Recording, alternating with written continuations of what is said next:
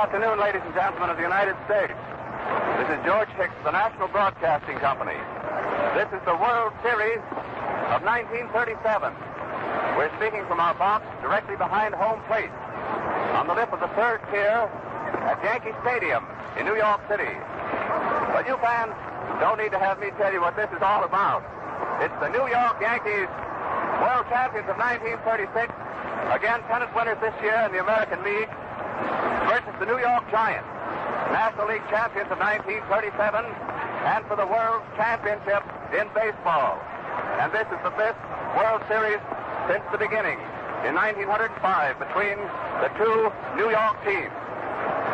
Well, we've been in our chairs here since 11 a.m. this morning. Now 1.15. The bleachers, bending in an irregular curve from middle left field around to middle right, were packed solid on our arrival this morning. And the third tier of moderate priced reserve seats were also packed at that time, except the extreme tips at left and right field, and now they're filling up. The expensive boxes in first layer tier are now filled practically, except for the last moment arrivals. There must easily be 50,000 or a little more here now before game starts, and they're still pouring in. NBC has its baseball expert manning the microphones. Tom Manning, NBC sports announcer from Cleveland, one of the best. Well, he'll describe the first half of the game. Beside him is Red Barber, star sports announcer from station WLW in Cincinnati. Both, uh, by the way, are red-headed. So remember, when the action gets hot, these two red-headed flashes will be throwing the words at you. And with them is Warren Brown, the friendly and wise ball expert, sports editor of the Chicago Herald Examiner. He'll give you the expert opinions, the inside facts that only he knows. Now, so much for what's to come. Right now, the Yanks are just trotting in off the diamond. The caretakers are out with their rakes and the chalk lines, the manicuring, which goes on just before the game starts. It's just about 10 minutes now. The photographers are flashing bulbs at the, at the first row box seat where all the celebrities are seated. It's so muggy today, incidentally, that they're using flash bulbs. The Giants are now coming into their dugout. The weather is humid. Uh, whether this is October 6th or not, uh, perspiration is running off our faces, and the bleachers are in shirt sleeves, making that white background. Uh, it rained last night here in New York, but now the sky is a pale blue with those low, steamy clouds breaking and floating right over our heads, and the pennants up on top of the horseshoe. But boy, it's thick and it's hot out here. But I, I'm sure it won't rain. Mayor LaGuardia is here. Oh, Mickey Cochrane, the old, the old Mike of Detroit, looking fit again, and the babe, Gino. He was wiping his face a moment ago in a blue serge suit. Sits in a box right down below us beside the Yankee dugout. With him is Mrs. Ruth and his daughter, uh, Jacob Ruppert. Genial, handsome, smiling with Mayor LaGuardia. Uh, Mr. Ruppert stood and shook hands with the babe while the photographers took their pictures. Cheers and excitement. The comments running like fire through the stands uh, have been uh, egging us on since noon when the audience follows DiMaggio, Gehrig, Dickey, Selkirk, Moore, and Ott, all the sluggers as they drop their long drives into either left or right field stands.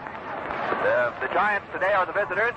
Uh, they're in gray with bright azure blue caps, and blue shirt sleeves and socks. The Yanks in white with uh, dark blue caps and socks. The crowd got a got a terrific howl a few moments ago when Gomez put a long punch into the right field stand. Uh, at batting practice uh, about 12:30, when the Giants came in, Hubbell got a fine hand when he came to bat, but the best he could do was to ground to the infield. The crowd uh, also cheered young Jack McCarthy, first baseman of the Giants, when he put several long drives into right field stand. And they said, well, uh, uh, look at who we got here, as much as to say, well, this boy is right up there with Gehrig and DiMaggio. Uh, a quarter of a mile away, on the top of the apartment roofs, which uh, are jagged in modernistic style, are the the apartment roof galleryites, uh, who pay no ticket and who get a very much of a bird's eye view of the entire scene. Hub is now down behind home plate on the Giants side, warming up, taking his time, wipes his head with his shirt sleeve, puts his old left arm across, and there's the ball. Gomez is doing the same thing on the Yankee side. Photographers are squatted around them, and the caretakers are now laying out their chalk marks around home plate and the batter's boxes. The band is playing in center field.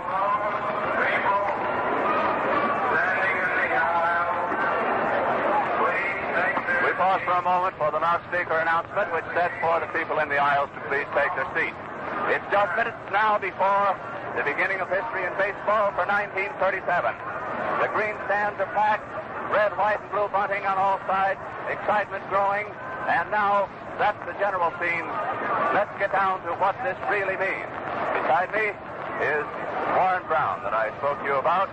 Warren, come on and give us the facts about 1937. All right, George, this is really the most exciting series, or I anticipate that it will be the most exciting series of the sort of a traditional rivalry that has grown up between the New York Giants and the New York Yankees. As you have been told, or perhaps know already, this is the fifth meeting between these two clubs. They met for the first time in 1921. And baseball history of sorts has been made since then. In 1921, for example, there was no Yankee Stadium. Both of the New York clubs played in the Polo Grounds, which is across the Harlem River. In the 1921 series, the New York Giants were tops in baseball. John McGraw was leading them, and they were a fiery baseball club. In my judgment, the club that Bill Terry is sending out on the field this afternoon is the best New York club since the heyday of McGraw. In that 1921 series, the uh, games were played on the basis of five out of nine rather than the four out of seven, which had existed in earlier years and which has been brought back into play now. In that 1921 series, the Giants won five and the Yankees won three. The following year, 1922, the Giants won again, and they won four games.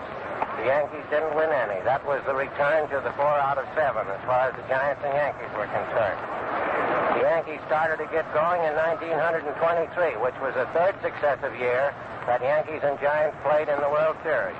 And the thought strikes me now as I've looked at these two pennant races in the National and American League that maybe we're back to those old days again. The Giants and Yankees won last year, and they won again this year, having proven conclusively in their respective leagues that they were far and away the best ball clubs in those leagues. So it is quite possible that we may have another stretch of three years, or possibly more, of these all New York series, the Subway Series as they call them. In 1923, when the Yankees won the World Championship from the Giants, they won four, and the Giants won two. After that, the Yankees fell apart a little bit, and it took them a little while to rebuild until they came back stronger than ever. The Giants won another pennant in 1924, but they didn't have the Yankees as their opponents in the World Series that year. Thus it was we came into 1936 before the two clubs met again. And of course, we will all remember that the Yankees won a really sensational series here last year, four games out of six. Summing up then, we find that down through these four series that have been played to date, the Giants have won 13 games and the Yankees have won 11, which seems to me to bring the two teams very close. In a sense, then, this series, which begins today, being the fifth, is a rubber series. Unless, of course, we figure that they're going to keep right on going again next year. These meetings between the Giants and the Yankees have been productive of some sensational baseball, some very colorful things. Some of the strangest things that have ever happened in World Series play have happened when the Giants were meeting the Yankees. It was in one of these series that we had the famous episode in which a plate umpire declared that it was dark when very few people in the park thought it was dark, with the result that the Commissioner Landis, who, to whom the uh, decision of the umpire came as much of a stunning surprise as to anybody else, decided to give the money that was spent for those tickets to charity. That was one of the more famous incidents of this giant Yankee series. There were a lot of uh, strange plays and a lot of sensational plays. But that's almost enough for the past. Let us get to the present. Looking at the lineups today, which the loudspeaking system is about to give you, perhaps I should pause and let you hear that.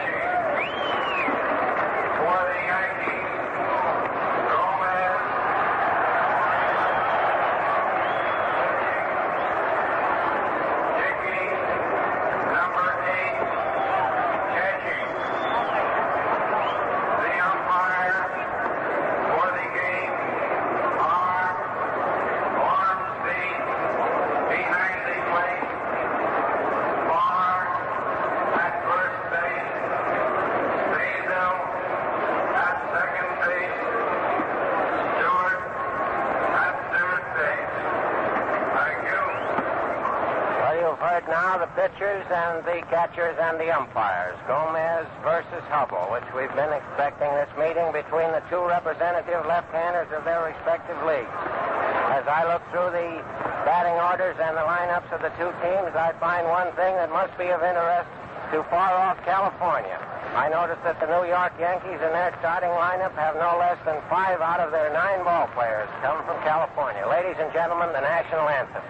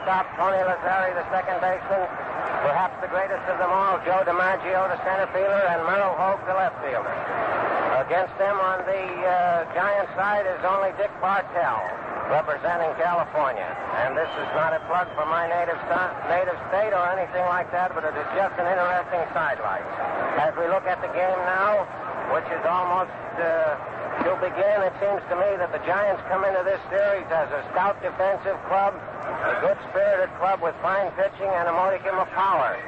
The Yankees, of course, are the powerhouse with also good pitching. If anything, their pitching is on a par with the Giants. In a sense, it seems to me that we are going to look at, starting this afternoon, a World Series in which we will have the famous test that we've long awaited between the irresistible force and the immovable object. And now it seems to me that it's almost time for us to hear from my friend Tom Manning of Cleveland. All right, Tom. Good afternoon, ladies and gentlemen. That round of applause is for the New York Yankees, the winners of the pennant in the American League. Their opponents this afternoon in this World Series will be the New York Giants of the National League. Running over the lineup again for you rapidly. Out on the field at the moment, the Yankees. Frank Crosetti at short will lead off. Fred Rolfe at third base will bat second. That sensational Joe DiMaggio in center field will bat third. At first base will be the Iron Horse, Lou Gehrig. The catcher will be Bill Dickey. In left field for the Yanks, Earl Holt. In right field, George Selkirk. Tony Lazzeri.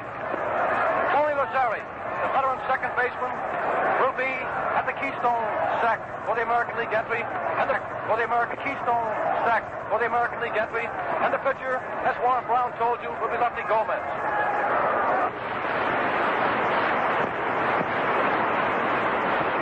For the Giants, Bill Terry sought out just the boys today. There are several changes. Joe Moore in left field. Dick Bartell at short.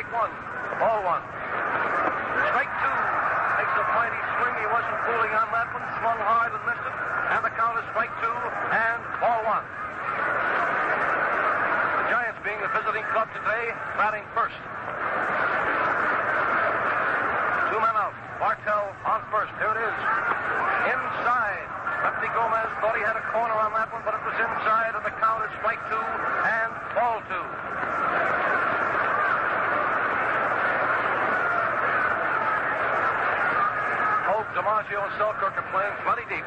Two and two, coming. Strike three. Strike three. Hard and. No run. One hit and no errors. Play a ball game, Warren. Come in. Yes, Tom, and the noticeable thing in that first half inning was the respect that the Giants evidently have for the throwing arms of these Yankee outfielders. That ball that Bartell hit over third base was normally one on which he would try for second base, but he made his round of first and half-heartedly and then turned back to first. They evidently have heard that the arms of Hoag and DiMaggio and that Yankee outfield can throw that ball around. The other noticeable thing to which I think we might as well refer now is that the rains of last night have slowed down this field to a considerable extent. I noticed that as the boys run around out there, they're digging up large uh, sort of divots in the turf, and I'm afraid that there will not be any too much speed shown until the place dries out a little. And as the sun is now coming out strong, it probably will be dry and, as they say, at the track fast before the afternoon is over.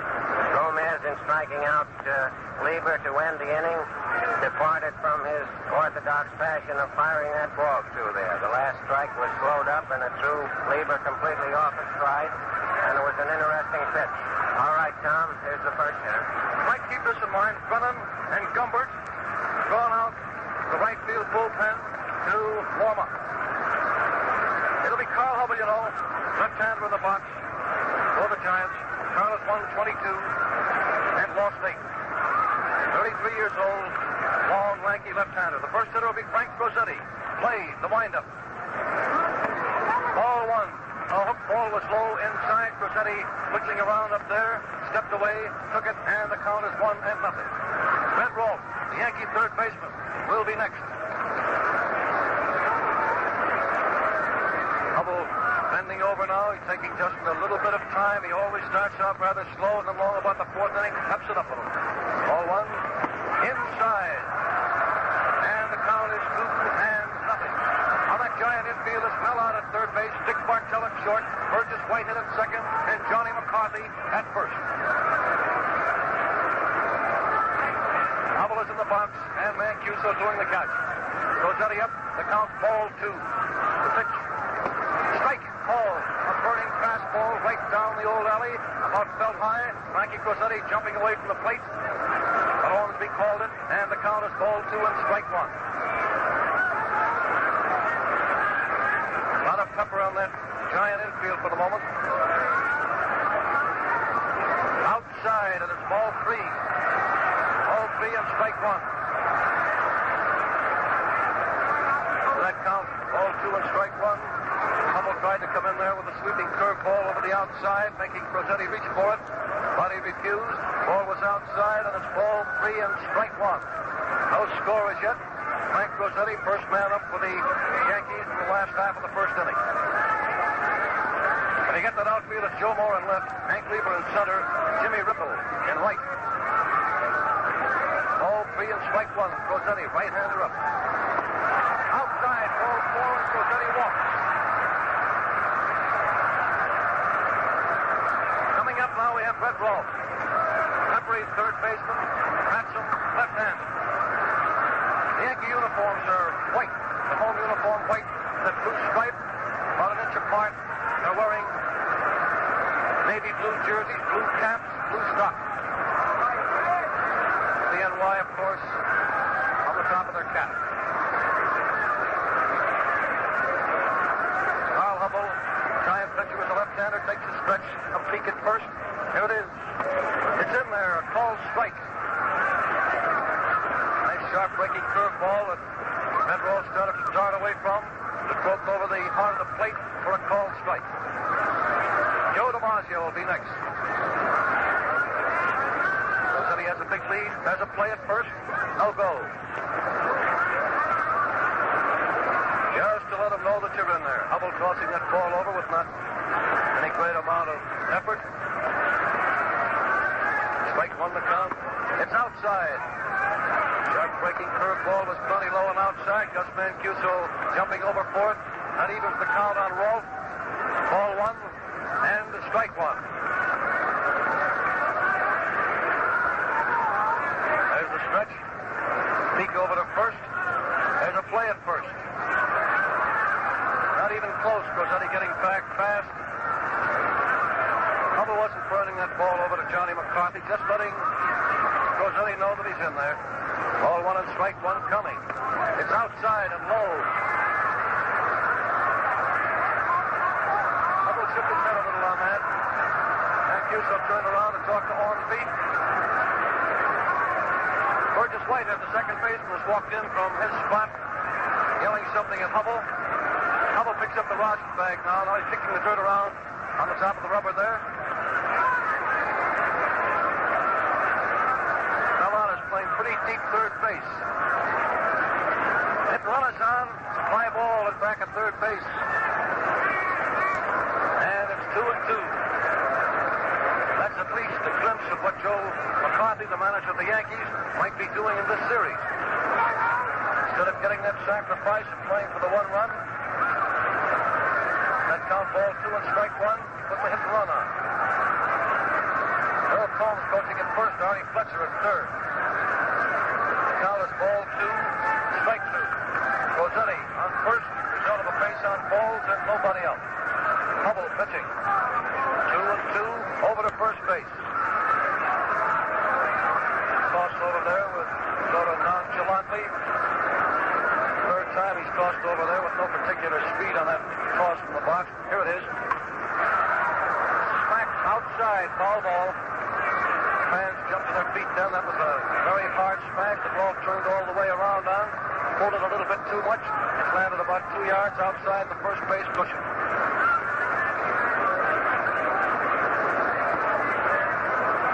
One bear a lot of watching in this short Blue Ribbon Classic will be Johnny McCarthy, who will replace manager Bill Terry at first base. Ed Rolfe is in there with the count ball two and strike two. And Crosetti on first, nobody out.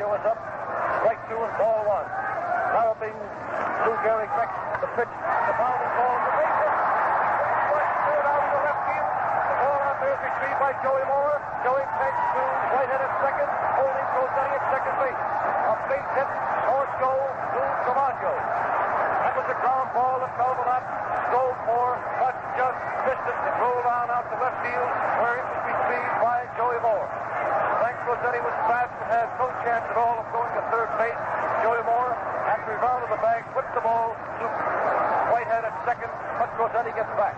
Now we have Lou Gehrig coming up. Gehrig, you know, bats left-handed. Lou's been hitting 353 this season, and he's 33 years old. Hasn't missed a ball game since the Lord knows when. Double pitching. There it is. Fadeaway curveball, missed the outside corner, and it's ball one. Crosetti is on second. Joe DiMaggio on first. Just a couple of Italian boys that know something about this game called baseball.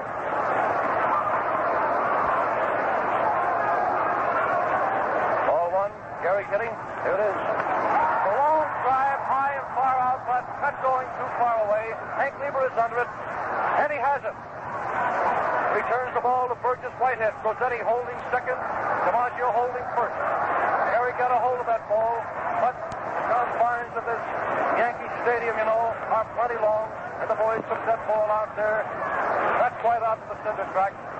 Let me give you the figures on this field. It's 301 feet to the left field corner. Then direct left field is 402 feet. Directly in center field is 461. Right center is 407. And on the line in left field is 296 feet. Of course, it branches out within 30 or 40 feet of that. It's 344 feet back. Right now we have two men out. And Bill Dickey at bat, the catcher, left-hand batter. Outside, ball one. Carl Hubbell leaning almost back to second base before he cut loose for that ball. Apparently, he's trying to keep that ball over the lower outside corner for Bill Dickey. Dick Bartell has moved over toward the second base cushion. Strike, ball. Ball one, strike one. Frank Crosetti on second. Joe DiMaggio on first, two men out. Rolfe struck out. Flags the lever in center field. Hubbell, left-hander, is in the box for the Giants. Ball one, strike one. Takes a look at second base. Here it is. Strike two, a tip foul that you could perhaps hear. That's Mancuso making the catch of the ball. And the count is strike two and ball one. Holy there's a lot of excitement here at Yankee Stadium. The folks have been waiting, you know. Just 12 months for this classic. Bill Dickey now a strike two and ball one. Outside, and the count is two and two. Earl Holt, who is playing out in left field against the southpaw shoots of Carl Hubbell, is next. The other left fielder is Jakey Powell. Ball two and strike two. Hubbell takes the stretch. It is. Tip foul. Dickey swung over that ball, landed right near home plate. Umpire whips out a new ball, the Giants smack it around that infield with the rapidity of light. Mel Ott, Dick Bartell, the Whitehead to McCarthy, and then back to the pitcher Hubbell. The Giant outfield is Joe Moore in left, Hank Leiber in center, and Jimmy Ripple in right. DiMaggio on first, Crosetti on second, two out, Dickey batting, ball two, strike two. Coming. Three. A burning fastball. Drove Bill away from the plate. Hasn't had so much on it that it brought a great groan from the crowd. What's the attendance for on someone over 60? Give me the figures on the attendance just as soon as they're made available to watch. Count of three and two. The runners will be off for the pitch. There they go. and Here it is. The fly ball going out into deep center field. Hank Leiber running back under it, and he has it. That's all for the Yankees in the first inning. No run, one hit, one base on balls, and no errors. Now, radio friends, we pause briefly for station identification.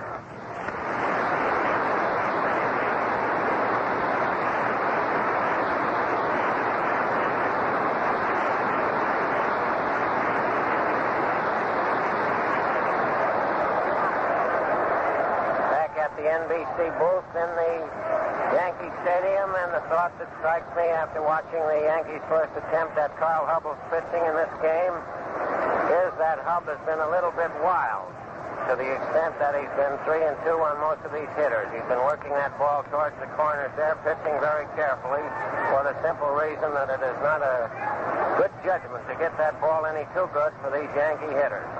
While he was hit for one base hit, the one that Joe DiMaggio splashed past uh, Mel Ott at third base, that was a sort of a soggy hit, and it wasn't hit with the authority that we are accustomed to watch when the Yankees really get a hold of the ball. So far in the ball game, it has been mostly one of defense, with the Yankees furnishing the principal threat, of which, as you know now, nothing came. All right, Tom, it looks like the hitter's up here, so let's have him. It'll be Jimmy Ripple, the giant right fielder. We've completed the first inning without any score. One hit apiece. Carl Hubbell has issued one base on balls. So far, Lefty Gomez has issued no bases on balls. Jimmy Ripple leading off. Jimmy, left-hand hitter, the right fielder of the Giants. Here we go. Ball one. That was a fastball that Gomez had in there, but it was just a little bit too low. Johnny McCarthy will be next. Foul ball up and back at third base. Ball one, strike one. Yes, Jimmy broke his bat. Hitting that ball, that's what he did, and he's walking slowly over toward the giant dugout to get a new one. One thing that the ball players just hate to do is to break their bat. Tell me, Warren, how'd that ever start? What is that? Well, this broken bat that sort of burns the boys. Well, that's just one of those superstitions that come along in baseball, like somebody who started a hit by wearing their pants long. You know, they used to pull them all up in the old days. One fellow started in like Cal Simmons or somebody like that with his pants down loose, and now pretty nearly everybody does. Ready to go again. Ball one and strike one. Ripple hitting. Has a long smash going out to left field. Merle Hoag waiting for it. He has it. Jimmy Ripple with the count ball one and strike one. Fly to Merle Hoag in medium left field. Johnny McCarthy. First year as a regular with the Giants. They like him here in New York. He's getting a nice hand. He steps into the batter's box. He bats and throws left-handed. Lefty Gomez. Outside, ball one. It's awful muggy and awful dark here at the moment. Little wind blowing in from the northwest. Smack right up Lazzeri, and he makes the catch. He looked at the umpire. The umpire, Steve Basil, waved that it was a unassisted put out. Looked as though Tony just barely got his glove underneath that ball. A terrific line smash right at Tony's feet. He held the ball up, and Steve Basil waved out that Tony Lazzeri made the catch. Two out. Nobody on. First half of the second inning. Thanks, George. Gus Mancuso up. Strike call. Is 31 years old. This season he batted 279. At Yankee outfield, Hogan left, DiMaggio center, Selkirk right. Pitch is a ball. Low and inside. Ball one and strike one.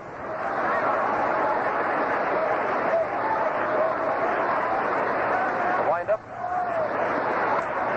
That's a long smash to the right center field. Selkirk going over fast, and he has it. Very nice running catch by right fielder Georgie Selkirk. Mancuso hitting that ball on a line in the right center field. Selkirk was off of the track of the bat and made the catch. One.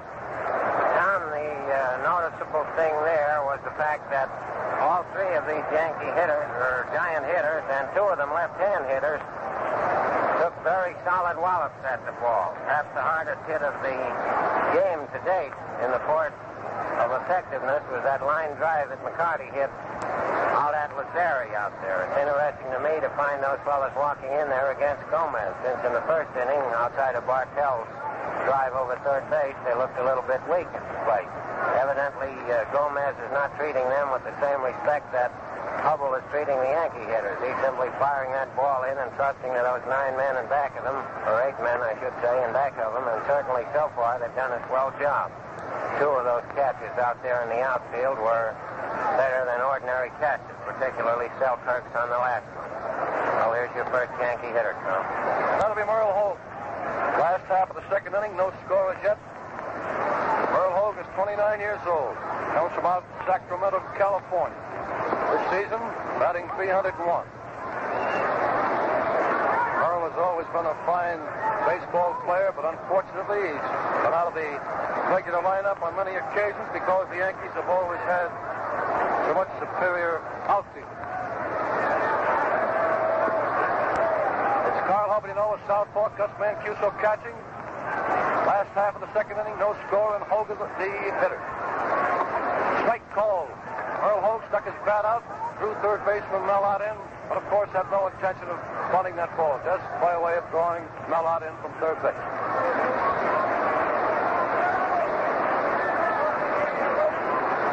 Ball low and outside, and the count on Hoag is ball one and strike one. Earl Hoag the batter, Georgie Selkirk. George has been on the injured and sick list quite a bit during the last half of the season, but he's back in there now, strong as ever. Ball one, strike one. Bounding ball down, third goes foul.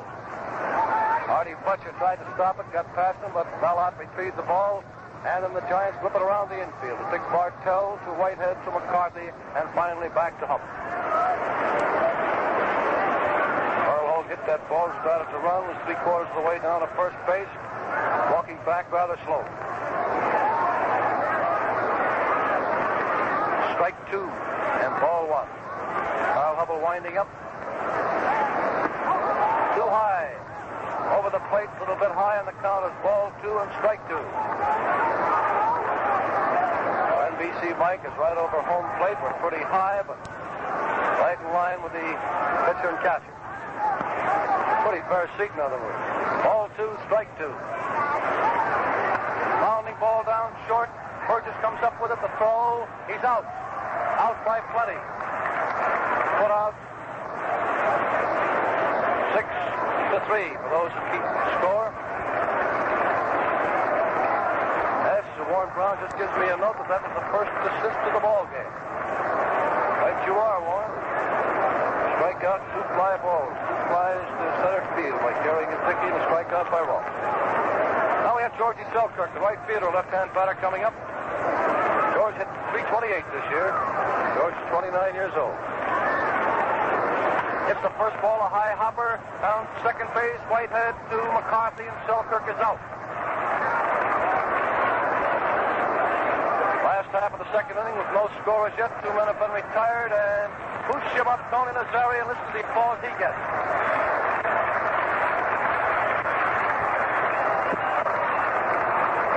Lazzeri, always been a gentleman, fine, great ball player. They like him a lot here in New York, and they should. Tony bats him right-handed. Ball one outside. Tony is 33 years old. This year, Tony has hit quite as well as usual, batting around 250.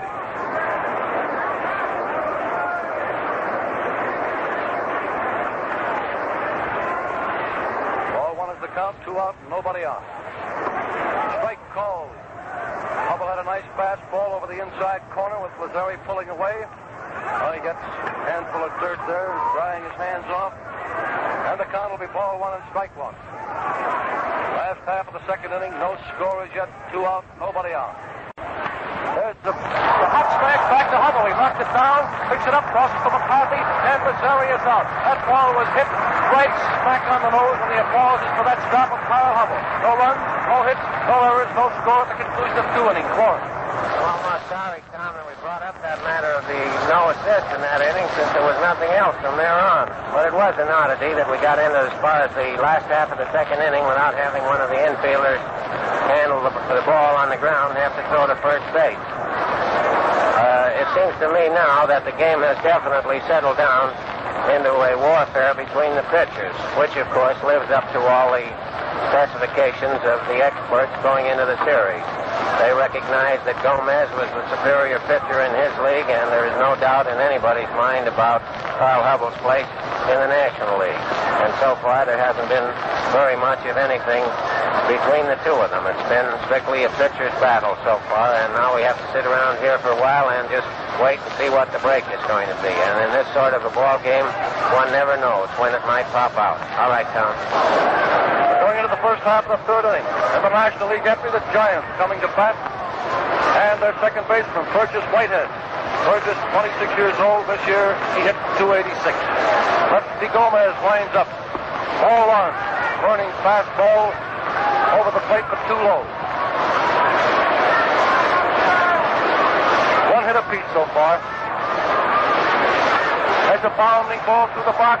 A throw stopped by Crosetti to throw. He's out. A beautiful play by Frankie Crosetti. That was a pounding ball just out of the reach of Rusty Gomez.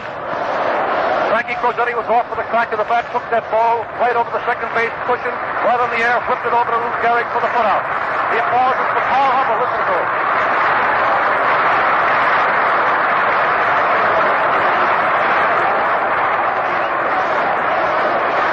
Carl Hubbell, you know, pitches left-handed and bats him right-handed. One out, nobody on. A foul upstairs. Well, there wasn't much of a scramble for that ball. It was popped right into the waiting hands of a gentleman who I do not believe is going to toss it back.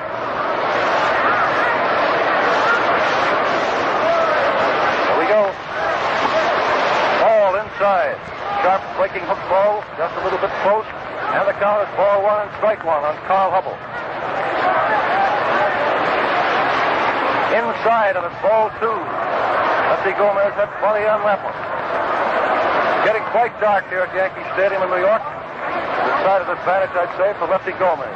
Fireball pitch. There's a long smash going out to right field. Seltzer going back and near the wall and makes the catch. That ball was hit exactly 340 feet from home plate. Taking that ball just about four feet in front of the barrier out in deep right field. Mr. Hubbell tagged that ball very, very well. It's a base hit in an awful lot of ballparks, but not here in Spacey's Yankee Stadium. Two out. First half of the third inning, no score as yet. Once more at the top of the batting order coming up. It's Joe Moore. Last time up he was out, Gary Gunn assisted. A strike called. Lefty Gomez pitching and Bill Dickey the catcher. Coming. Ball two. Another sharp breaking curveball is outside. Direction ball one, strike one.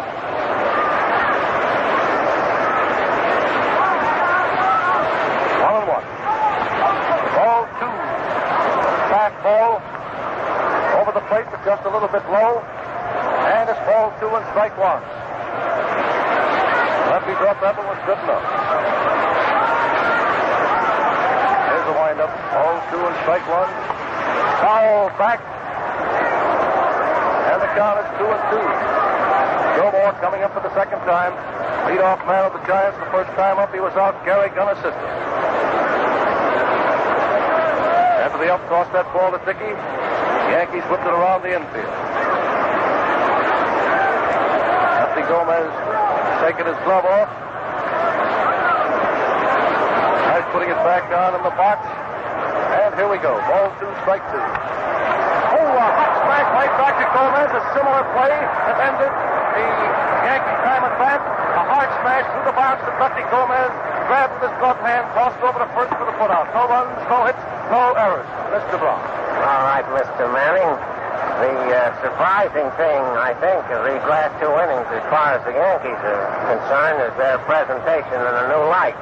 Heretofore, all of us that have been writing and talking about the Yankees have been mentioning their power at the plate.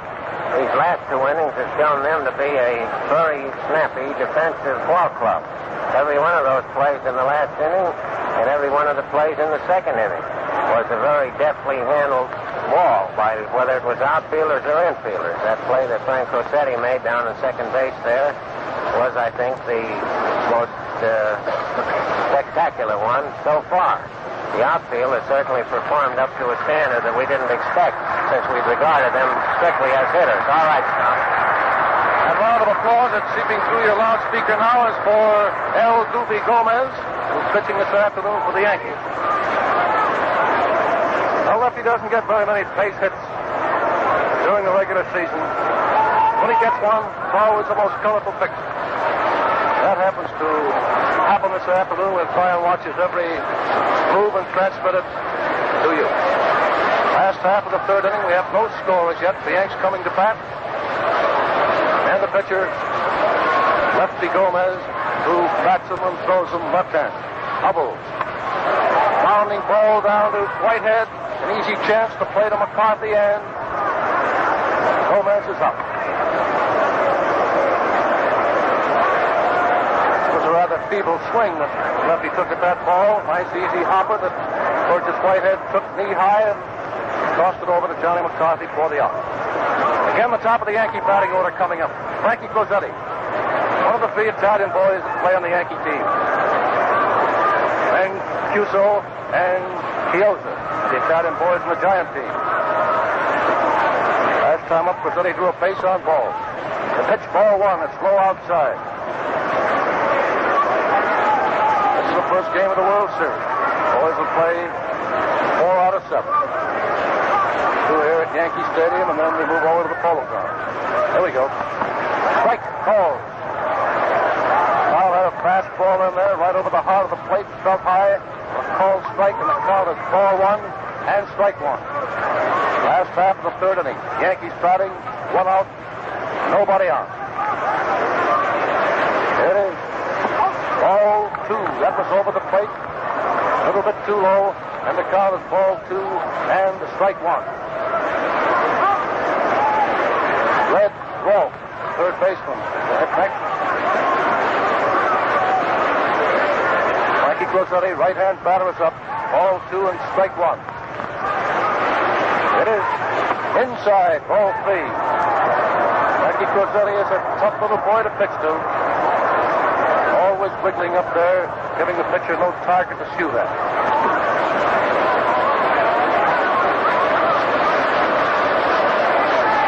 One out, nobody on. Hubbell winds up at ball three and strike one. It's in there, a called strike.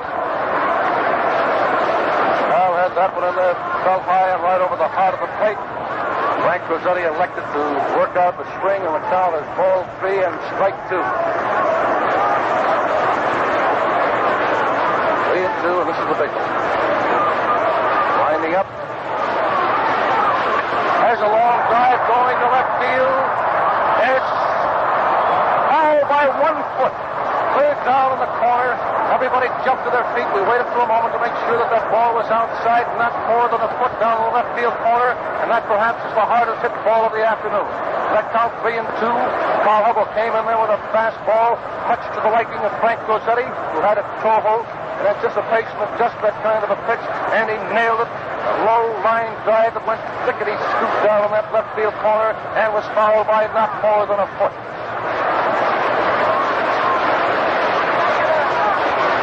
Nice bit of umpiring there by Phil Stewart. He certainly was on that play. Ready to go. Three and two the count. Foul high. Mancuso ripped off his mask, started back, but it's in the stand. Mikey Crosetti has a count of ball three and strike two. Red Ormsby, umpire behind the plate this afternoon. Each time he tosses that ball out, the boys sort of dirty it up a little bit with a little of that infield dirt. Ready to go again. Hubbell has the ball. Ball three and strike two. Founder down third is fouled by not too much. So close to being a fair ball, the fella grabbed it, flipped it over to first base.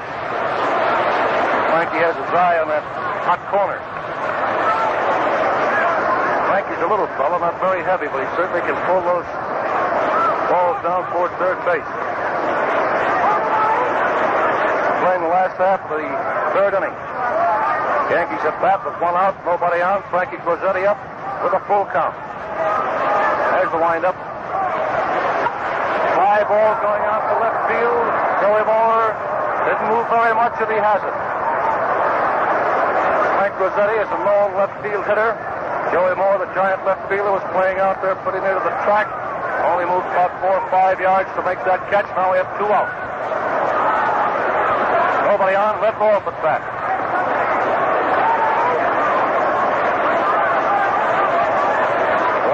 two-trip to the plate.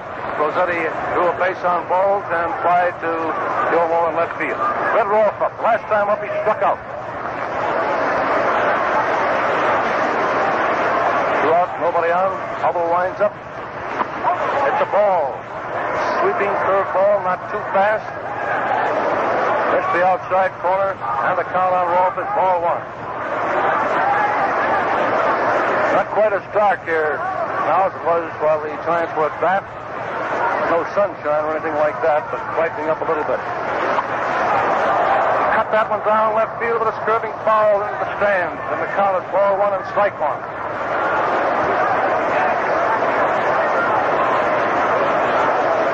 Red Rolfe is back in the batter's box.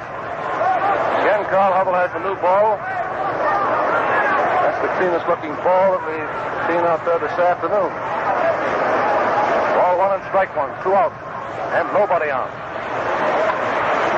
Fly ball going out to left field. Joey coming over to the line under it. He takes it, and that's all for the Yankees in the third inning. No runs, no hits, no errors. One. There's no reason to suspect, Tom, that uh, these pitchers aren't still in complete control of the ball game. Hubbell has been almost perfect, I might say, since the first inning. Outside of uh, Frank Crosetti, who hit a ball rather sharply into left field, and Rolfe, who just hit a dinky fly out to Joe Moore, none of the others have been able to get the ball past the infield. Hubbell seems to have recovered whatever lack of control it was that he started out at in the game. He's getting that ball just about where he wants it. And with these two clubs having a pretty good understanding of such weaknesses, if weaknesses exist in the other side's offensive array, why, I think Carl will go along pretty well. He seems to be perfectly self-contained, whereas Gomez, on the other hand, is just as effective and seems to be perfectly content with the way things are going on. I don't know that I blame him. All right, Tom. All right, we're going into the first half of the fourth inning. We ought to get a bit of excitement now on both sides. We have Bartell, Ott, Leiber coming up for the Giants, and in the fourth inning, all the Yankees will have coming up will be DiMaggio, Gehrig, and Dixon. Group coaching at first and Slider at third for the Giants. Here we go. Bartell. Gets the first ball pitch. The mighty drive going deep. Hope going back on the cinder track, and he has it. Run out. Dick Bartell, as I told you in the first inning, was a long left field hitter. He got a hold of that first ball pitched. It was a high ball, about letter high. Stepped into it, drove it deep out into left field with was playing deep, running back near the center track and making the catch. Now we have Melvin Ott coming up. Mel is 28 years old. He batted 294 this year. Last time up, wide to the first baseman, Lou Gehrig. The first pitch, ball one. Sharp breaking curve ball that was low outside to a left-hand hitter. Ball two. Fastball right under Mel's chin. Stepped away from the plate. Now the count is two and nothing. First half of the fourth inning. There's a bounding ball through the box. Lazzeri goes over, makes the play. It's close. He's out. Boy, what a play that was by Tony Lazzeri. That was a bounding ball over the head of Lefty Gomez. Tony Lazzeri running away from first base. Grabbed that ball to his right, then leaped, pivoted, got the ball over to Ruth Gehrig just ahead of Mel Ott. Only by about one step. Two outs, nobody on. Beautiful play by Tony, the best play of the game so far. Hank Leiber is up. Right hand hitter. Strike. He swings and misses. Two very beautiful infield plays there. One by Crosetti and this one by Tony Lazzeri. Strike one. Leiber hitting. A mighty cut at that sharp breaking curveball. Swung over it and it's strike two.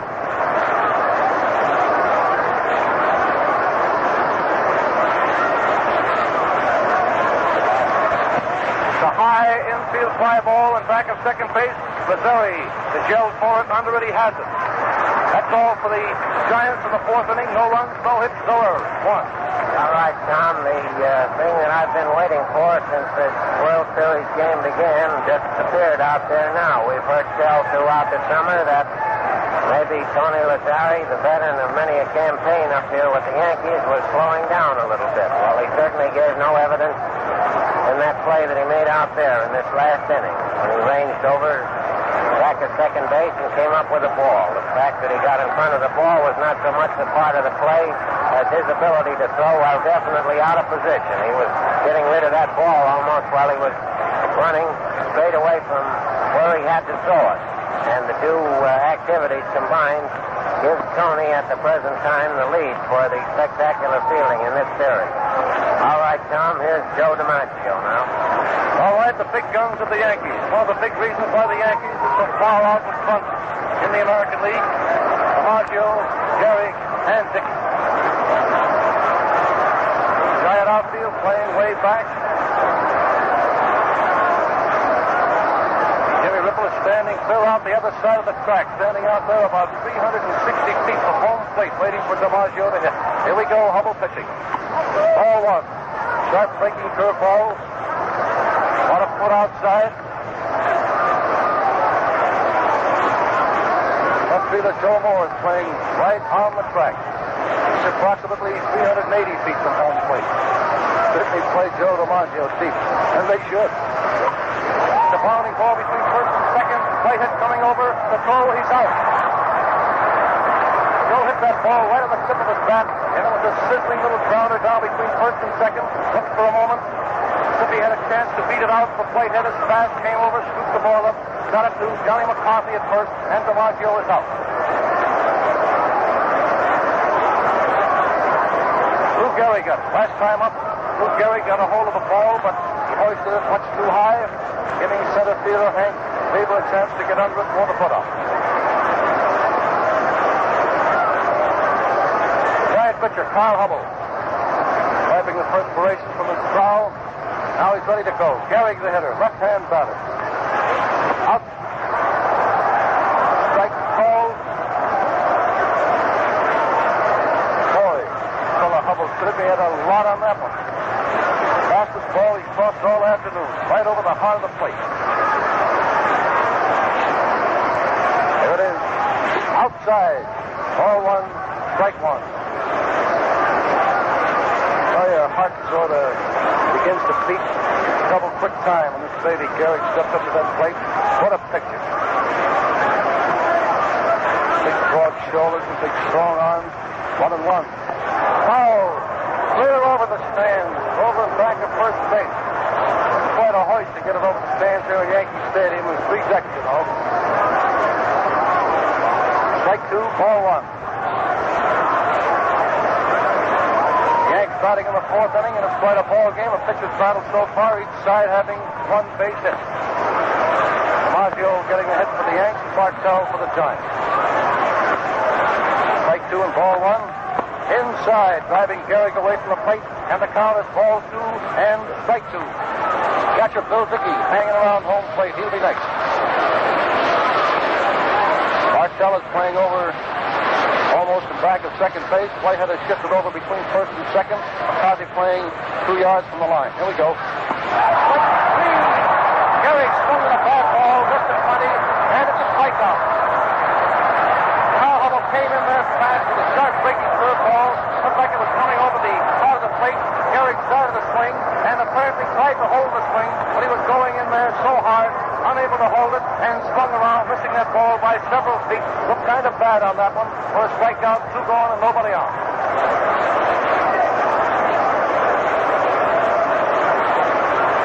Always a picture with that Gehrig at that plate. And that was a real picture, and Warren will tell you about it in a moment. All right, Bill Dickey up, two outs, nobody on. It's in there for a called strike. Gehrig, Dickey came to bat, Hubbell shot the first ball in there, a straight ball with all the speed that he has at his command, keeping the ball just a little above the knees. Both good pitches. The pounder down first. McCarthy has it. McCarthy running the bag to the put out. Unassisted. No run. No hit. No error. No score at the conclusion of four innings. One. Tom, the interesting thing to me in that inning was uh, at the time that Gehrig was at the bat, I happened to be looking down into the Giant dugout, and Bill Terry is down there, sort of out in front of his players. And to distinguish him from the rest of them, he has a towel around his neck. I've been trying to figure out for several innings why that was, but I gathered he was waving his outfielders around, particularly his center fielder, Hank Leiber. He was steering him around with the aid of his arm and the towel. And I can see now that uh, the distance that these giant outfielders play away from the plate and naturally away from their own dugout with Gehrig at the plate, it's no wonder that Bill needs a towel around his neck. From that distance, one giant looks the same as another. This is the first time that I've noticed Terry taking that active part in the direction of his outfielders during the progress of play, but it was quite interesting to me. All right, Tom, here comes the next one. Now we're going into the first half of the fifth inning. Fans are beginning to root in unison. This time it happens to be for the Giants. One, I thought Carl Hubbell was getting a little better as he moved along. What's your opinion of that? Well, he broke off at Gehrig. I think Tom was the finest breaking curve that was thrown by either one of these pitchers this afternoon. At least that was the way it looked to me. It didn't start out as a bad pitch, but it broke so sharply that it made Gehrig look bad. Didn't you think so? Yes, sir. Well, here we go. Jimmy Ripple. Right fielder, first man up. Ball one. Curve ball was outside. Last time up, Ripple flied to left field. Selkirk has moved back over the cinder track. Joe DiMaggio has moved over right center field. Strike. Call. Ball one, strike one.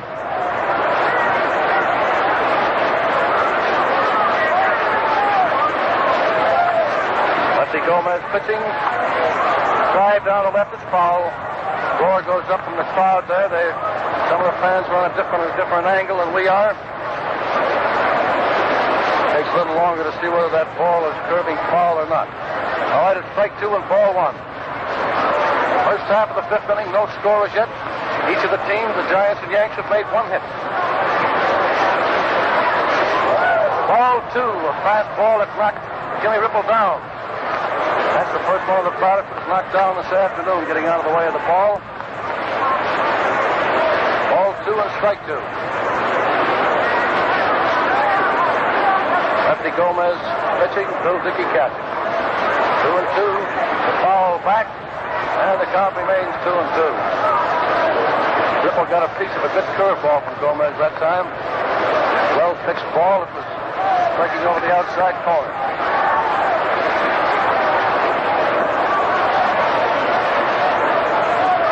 Umpire tossed out a loop ball, gave it to Dickey. Dickey shot it down the rope. Rolfe got some dirt, rubbed it up, and now Ormsby has asked for the ball again. Tosses out another ball, he's telling Bill Dickey now, stop throwing that ball in the dirt. Just a little by-play by the boys, nothing serious. Yanks threw that ball around the infield. Now Gomez has it. We're ready to go again. Jimmy Ripple, the hitter. There's a big knock into right field, a line drive. Lands out there. Selkirk has it, and so is the second. Ripple stopping at first. Second Giant hit of the afternoon. That's out two and two. Lefty Gomez came in there with a straight ball inside. Ripple pulled away and pulled the ball with it to right field for a base knock. Johnny McCarthy coming up, the first baseman. Johnny's a pretty tall boy. Batson throws left-handed. Last time up, fly to Lazzeri. The first pitch, plenty wide of the plate. A beautiful stop by Bill Dickey. Ball one. It was a curved ball that started to break over the outside corner. By the time it was finished, it was on the outside of the right-handed batter box. Here it comes. Ball two. Again, it's outside.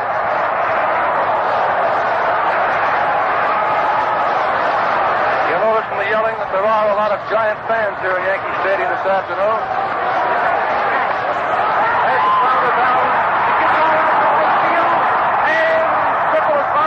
The throw. The throw is cut off by. Triple goes to third. And stops at first.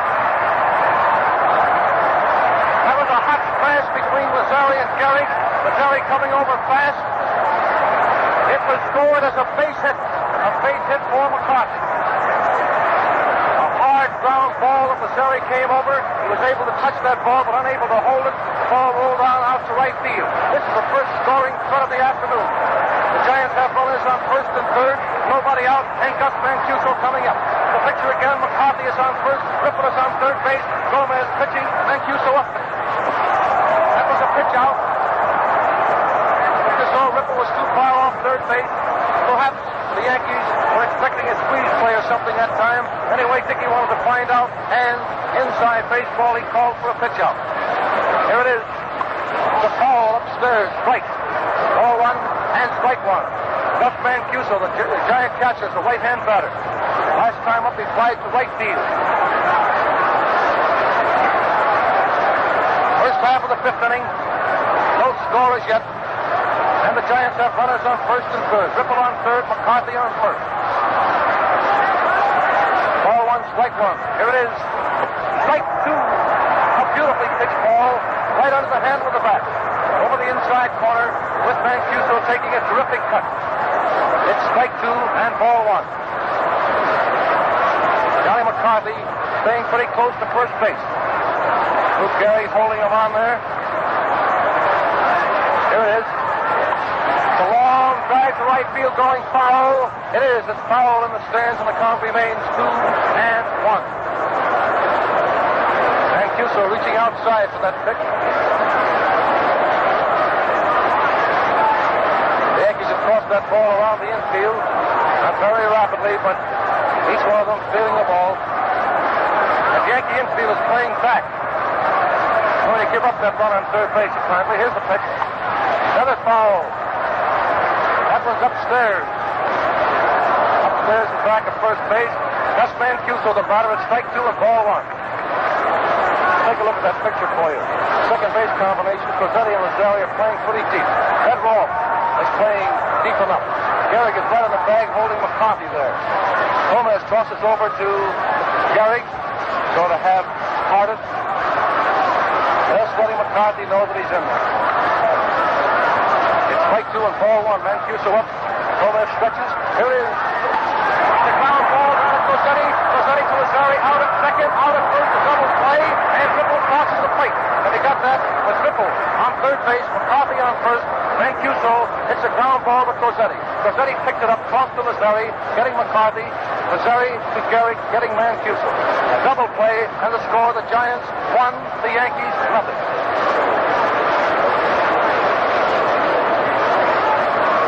Now we have Burgess Whitehead coming up. The Giant second baseman, right-hand batter. Last time up he was out short to first. The pitch right down the alley, a called strike. Lefty Gomez, you know, the fans throughout the circuit haven't appreciated the fireball that he possesses, but he's got a lot of it. Outside, and it's a ball. Ball one and strike one. Many of the ball players have said that Gomez has a ball he throws just quicker as fast as Bob Feller or Lefty Bob throws. Ball one and strike one. There's a long smash to right field. It's foul by two yards down the right field corner. Again, the fans jump to their feet on that line smash by Burgess Whitehead. Warren, I believe we've had more shots down the foul lines in this particular game than any game we've seen in a long time. Is that right? Yeah, yeah, don't they count? Ready to go again. Gomez has the glove off for a moment, and the count is strike two and ball one. First half of the fifth inning. The Giants batting two out, nobody on. The windup. There's a base knock over Gehrig's head down to the right field corner. Ball carries off the wall. He's going to second. There's the throw. He goes into second, standing up, and the first extra base hit of the World Series in 1937. And the third Giant hit off this inning. First half of the fifth. Now we have Carl Hubbell, the Giant pitcher, coming up. It was a mighty wallop by Burgess Whitehead. A line drive that was about 15 feet over the head of first baseman Lou Gehrig, and the ball going down into the right field corner. Hit the barrier down there, 296 feet from home plate, and fouled out to Georgie Selkirk, but it was ample time for Whitehead to reach second base standing up. The fourth hit of the ball game, the third hit of the first half of the fifth inning for the National League Giants. Here's the pitch to Hubbell. He hits the first ball, down the foul line, and again it's foul. Listen, Warren, I don't want the radio I'm kidding. You tell me about that. That's right. That one just missed, and it looked like it cinched it, didn't it, when it started to come? That's been going on all afternoon. Right down those foul lines on both sides of the field. well, it was so good that Carl Hubbell was all the way down to first on his way to second anyway. One thing I don't like about radio announcers is to kid you out you know, and make you believe that there's no chance of a base hit when there isn't.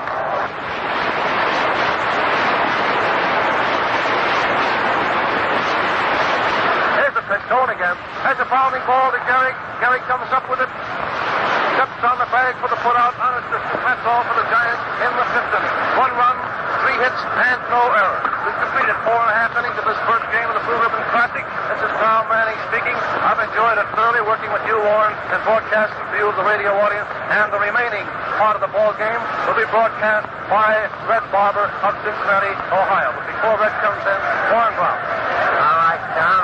Well, we certainly had a little excitement in that inning, and uh, looking back at it, it was a good thing that Joe McCarthy, directing the Yankees, decided to play his infield back for the double play and sort of spot the Giants that one run. Because after Whitehead, two base hits came along, there were two out at the time, and it looked as though the Giants were on their way to a big inning. The interesting thing about the inning was that those two hits which started it were both made by left-hand hitters, and both of them were able to pull the ball into right field. And doing that off the left-hand pitcher Gomez, that would indicate that maybe they are gradually catching up with Lefty. He was hit rather hard in that inning, and of course he was very fortunate in one way that there was only one run scored. And one run, as we all know, against the Yankees is not supposed to be much run. However, they don't see Hubbell every day. All right, Red, glad to see you down here. Well, thanks a lot, Warren, and needless for me to say, I'm glad to be here. One to nothing favor the Giants with the Yankees up in the last of the fifth inning. Carl Hubbell doesn't have to have anyone tell him that he has the lead of one run. He's used to having to work that way with the Giants. He's pitching now to Hoag, who hits the first pitch high and short out into left center. Bartell backs back, drives everyone away, waits under it, and takes it. No hold, the right-hand hitter went after Hubbell's first pitch, popped it up to Dick Bartell, who went back into short left center field. And it is one up, one away, last of the fifth inning. Hubbell has now retired the last 12 Yankees in a row. So far, he's pitching a one-hitter. It is one to nothing favor of the Giants. Gomez retired 11 Giants in a row before Ripple first stepped in the fifth inning singles to start off New York one-run inning. The only score so far in the 1937 World Series. Up there now is George Selkirk, strong left-hand batter, takes outside, all one. A curve thrown by left-handed pitcher to a left-hand hitter that broke off just around the knees. Up his trousers, looks his shoulders a little. He's turned toward right field. The Giants are playing him as a pull hitter, out of the fence deep and pulled around toward right. Hubbell out of his stretch delivers. This one's a curve low outside under the knees for ball two. Two nothing to Twickletoe Selkirk, the young man who had perhaps the hardest spot ever to fill in baseball when it was his job to take over right field when Babe Ruth hung up his spikes as far as the Yankees were concerned. Selkirk looking at six, lazily down one spike, Hubbell set, in with it, swung on and missed for strike one. Selkirk didn't like that one. After he swung and didn't get it, he beat his heavy under the bat down onto the plate as if to say, there was my cousin pitch and I didn't blame Ken with it. One out, nobody on. Last of the fifth, Giants leading one to nothing. Hubbell down, ball, ball three, just missing the outside. Hubbell has given us a sight of that famous screwball just one time. That is, it really counts this afternoon. The one time he exploded it is when he struck out Gehrig in the fourth inning. Hubbell taking his time, into the dirt now after getting the sign, straightens up, swinging stretch, easily down with a great left arm. The pitch is one. Three and two. Now is a change of pace curveball, twisting its way down in there. Not every ball that looks a little backward thrown by Hubbell is his screwball, because uh, he throws such an assortment that a lot of his curves breaking down would sail. When you really see that screwball, you know it. The pitch is hit a high fly ball into short right field. Back goes second baseman Whitehead. Under comes Ripple, and it's Ripple for the catch. That one about two miles, one up and one down. Whitehead was all the way back out in a pretty fair piece of right field.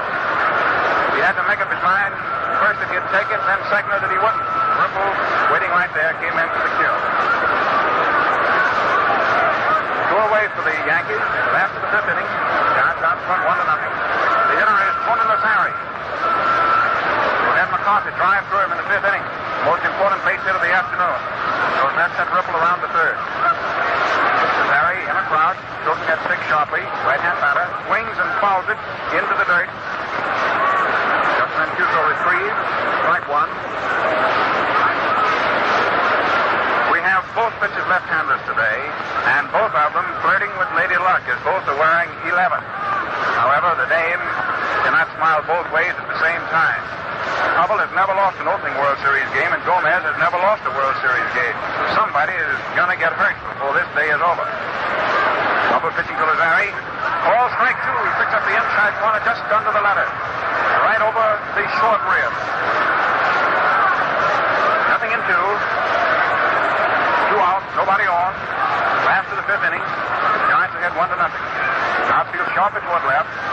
Playing Lazzeri as an out-and-out full hitter. The pitch is into the dirt in front of the plate. Ball one. The first time that Hubbell has thrown anything that looked wildly. However, that's not a wild pitch. A wild pitch is only so scored when there's a runner on base to advance and take advantage of it. Just ball oh one. One and two. Hubbell has retired the last 13 Yankees in a row. Given up just one hit, one base on balls. That's coming in the first inning. First third of the first inning. Up into his swinging stretch. Delivers outside. A curve that did not come down and in to a right-hand hitter thrown by a left-hander. Two and two. Down at shortstop. Upper box, Dick Bartell. Visiting with his uniform, putting his cap down. Belloc, reform right fielder who's done a great job at third base. Moves a little dirt. Smooth out his terrain around him. He's pulled over pretty close to the foul line. Whitehead is over almost back to second base. There's the 2 2 pitch. Swung on and missed it. Strike three. That's the third strikeout for Carl Hubbell. And for the first time pitching with a one run lead, he makes it look just that much better. Bob has now retired the last 14 men in a row. We pause for our station identification.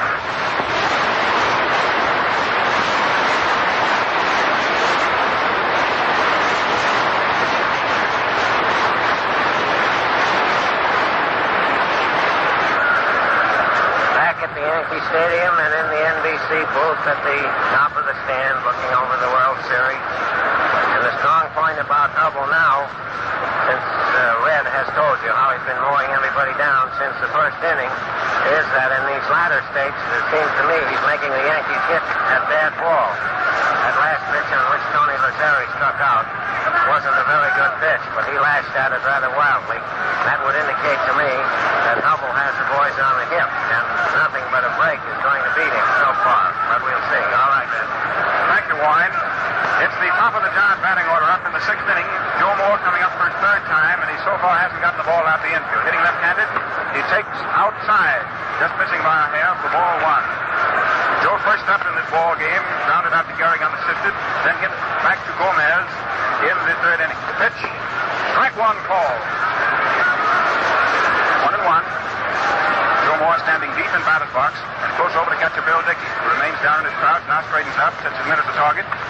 Swung on and fouled into the upper deck of the stands and back of third base. For a high outside pitch. Pull it enough, and it's one and two. First man up in the sixth inning. Gomez pitching behind now as the Giants lead him one to nothing. The outfield is toward right. Moore swings, hits it right back through the middle, safely through into center field. A ground single, back past the mound over second out into center field for hit number five for the Giants and hit number six of this first game of the 1937 World Series. Joe Moore singles right through the middle. And with nobody out for New York, top of the sixth, the Giants already ahead one to nothing.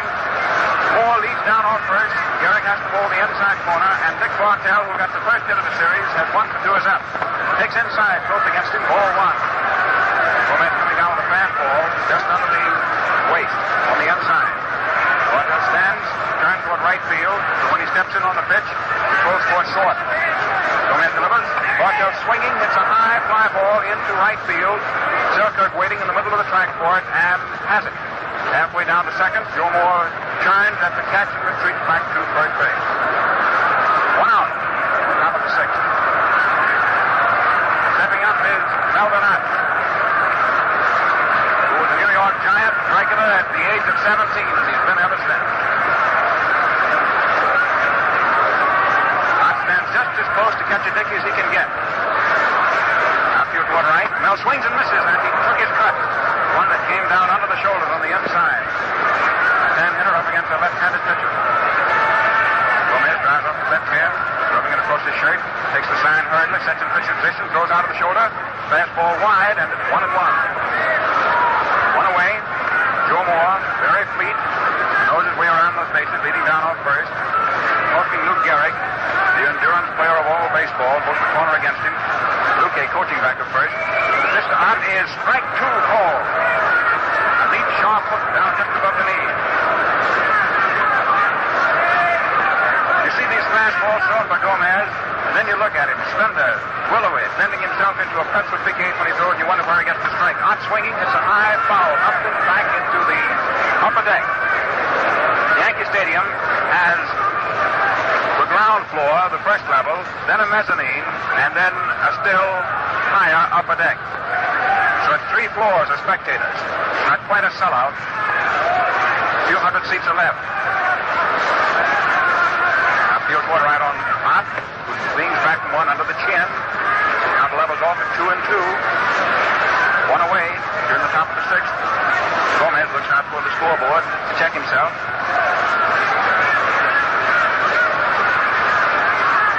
Not waiting. 2 2 pitch is swung on, lifted high and fouled. Dickey coming back underneath it, over by the giant dugout, and makes the catch. One step out in front of the giant bench. Resting in their box right in front of New York's dugout. Now that's two away in the top of the sixth. Joe Moore, who opened up with a single through the middle, is still at first base. Hank who's been given chance after chance by Bill Terry, who's received another strong vote of confidence from Boss Bill by starting him in this first of the 1937 Fall Classic games, is now coming up for his third time. Leiber was struck out by Gomez to end the first inning. Then he popped up to second base in the fourth to Lazzeri. Now he's up for his third trip, 0 for 2. The outfield deeper out toward left. Swinging, fouled it straight back onto the screen. Strike one. Big, blonde. When you look at him, nobody has to tell you that he was one time a fullback. Built that way. Right hand hitter who cowtails that war club and swings from his heels on up and out. Two away, and Joe Moore entered going anything, leading down off first. 270 feet away. Leiber steps back out of the box, thinking Gomez taking too much time. Lifted, very, very nervous. The president touches a bubble, even though they're both left-handed. Delivers outside. One and one. Fastball streaking down. Wasn't quite even close. Leiber steps back out of the box, picks up a little dirt in his right hand. Now sets. He stands right up against the plate, feet wide spread. That cocked way back, fell over his right shoulder. He swings, and it's a long out. Deep and high out into left. Holds back under it, and takes it. That's all for the top of the sixth inning. And with the Yankees coming in for the last of the sixth, the Giants lead one to nothing. As calm Carl Hubbell starts pacing out toward the mound. And into the mic, Warren Brown. All right, Red. I was going to uh, pay particular attention to that last half inning because it was the one in which Gomez had the pitch after he was roughhoused a little bit just before that. And when Joe Moore, another left-hand hitter, led off with that single to the infield and out into center field, I began to wonder whether Gomez was losing his stuff or not. Still out there battling him because he recovered, and while the Giants have one run off him, they certainly haven't distinguished themselves any more than the Yankees themselves have against the pitching of Carl Hubbell. Gomez is still the effective pitcher and a great pitcher, and there's been nothing happen in this game to disprove that. As uh, he goes through his work out there, as Red told you, he seems to be a little more busy than uh, Hubbell is. Hubbell is certainly a very calm sort of a person, and playing behind that one-run lead, he has the advantage. All right, Red. The applause greets the appearance of Lefty Gomez as he steps up to hit against Hubbell, first up in the last of the sixth inning. Hubbell out there pitching to protect his one to nothing advantage. Gomez hitting left-handed. Thrown out. Whitehead to McCarthy. His other time up. He ducks, hits the dirt as one comes right in at the point of his shoulder. Ball one. Well, that certainly wouldn't be the accolade that one pitcher gives another. But at any rate, it was a warm salutation. As the boys say, uh, Gomez was low bridge. He had to pull his ears in in a hurry in order to keep them both. Up now, drying off his hands, rubbing the dirt off of them. Mancuso doesn't look at all sympathetic. Squatting down in his crouch now stands up. Gomez dries off his hands. He couldn't get them quite dry rubbing along his uniform, and one of the giants threw them the giant batter's rosin and he used it and then tossed it back. Ball one, of course. Outfield a little toward left. Up pitches. High inside. Ball two. Mancuso turns over that ball. Umpire Ormsby, who examines it, takes it out of play, another one's put in. Turns straight back to Hubbell. 2 nothing to Gomez. First up. Last of the sixth inning. The Giants lead the Yankees 1 to nothing. Got that run. Top of the fifth. Hubbell beside the last 14 Yankees in a row. Up delivers 2 nothing. Inside and high for ball three. And is behind on his control now for the first time since he walked Crosetti. First up against him in the ball game. Earle Combs coaching back up third. Uh, coaching back up first. Fletcher back up third. Both of setting out a hoop and a holler. Gomez calling the play from behind. Ahead 3 nothing. Up comes in and gets it. The automatic strike. 3 and 1. Just above the knees. Belmont playing up close, bat third. Up tries 3 1 and registers. Strike two called. Up behind 3 nothing. Has thrown his last two pitches right through there. Picked up his cap for a moment, wiped the perspiration off of his forehead. It's a hot, muggy, steaming sort of an afternoon, though he was sitting in the upper deck of a double boiler. Up ready for the 3 2 pitch, aims it. It's swung on and foul tipped back. The first time the Gomez has offered it one. Up this time, first and the last of the sixth. Cue ball put in the way by way of third baseman Ott. Coming it up, walks calmly over toward the mound. There are two rather cool customers. Ott at third, Hubbell on the mound. Another cool one's Mancuso under that bat. Right side of the infield, talking it up between them. Coffee and Whitehead. A Hub, an easy swinging stretch. He doesn't wind up. Delivers. Low end sign for ball four. Hubbell has given up two walks. Gomez hasn't walked anyone. And both times Hubbell has walked a Yankee.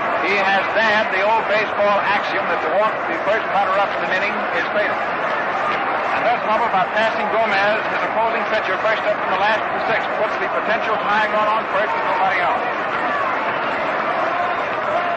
Now let's see how the Yankees go about trying to get back this one run. One run through the season hasn't meant anything at all to the Yankees. But one run against Hubbell in a short series such as the World Series can mean a lot. But after all, when a ball game's over, one run's a whole lot if you haven't got it. Gomez leading down off first, not very far. Carter straddles the corner against him. Frank Crosetti, the leadoffer's up there. He's been on once with a walk. First inning. Outfield is pulled around to the left. His right-hand hitter. There's a throw down to first, not in time. Pitch will fly outside for ball one. Gomez ran down off first a little bit, and when Mancuso took that outside pitch and threw to first, it was cut off by McCarthy, who had run in anticipating a bunt on the part of Crosetti. So even if Gomez had been a long way off first, which he was, there was nobody at first base to tag him. Ott pulled up, stepped back to the grass at third. Whitehead pulled up on the baseline at second. There's an attempted bunt, which is fouled back onto the screen. One and one. Frank Crosetti,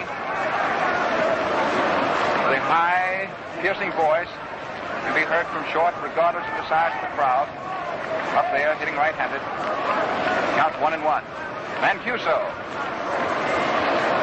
calls for time, walks out to the mound, talking to Hubbell. And now both men of the giant battery have their caps off, and both are rubbing the beads of perspiration off of their faces. Mancuso, with a great big handkerchief, now he stuffs it back in his pocket.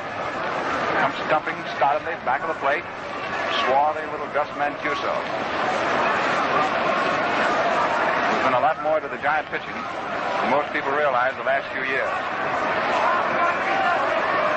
Defense pulled up on the infield.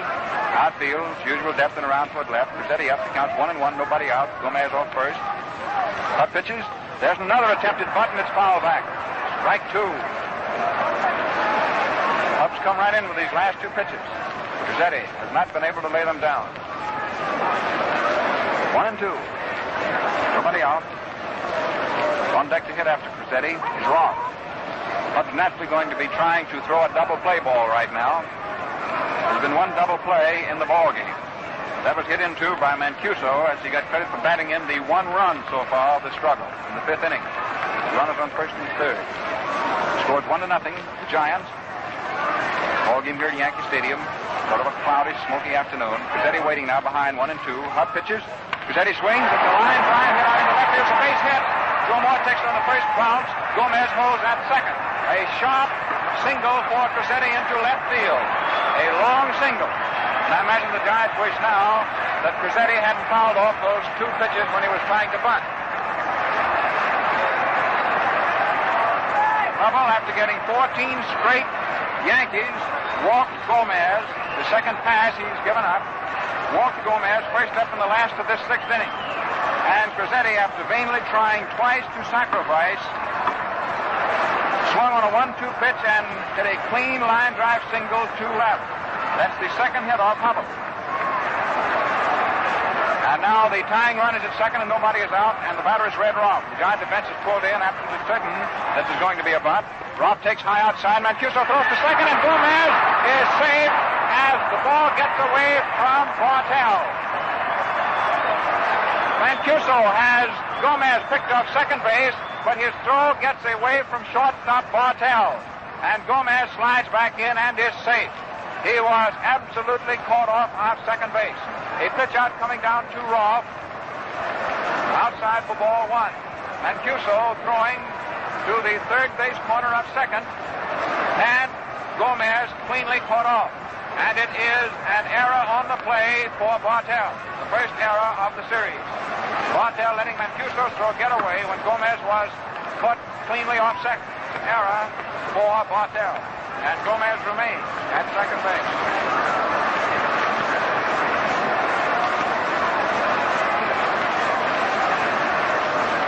Rolfe, a left-hand hitter, standing close to him, back of the plate. Hug pitches. Rolfe takes high outside. Mancuso threatens to go down to second, but this time Gomez is glued to the bag.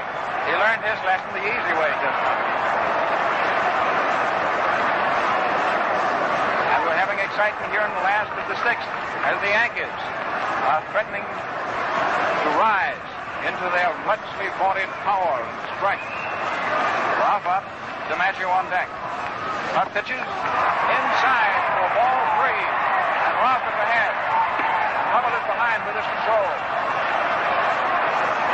This New York crowd at the moment seems to be a Yankee crowd.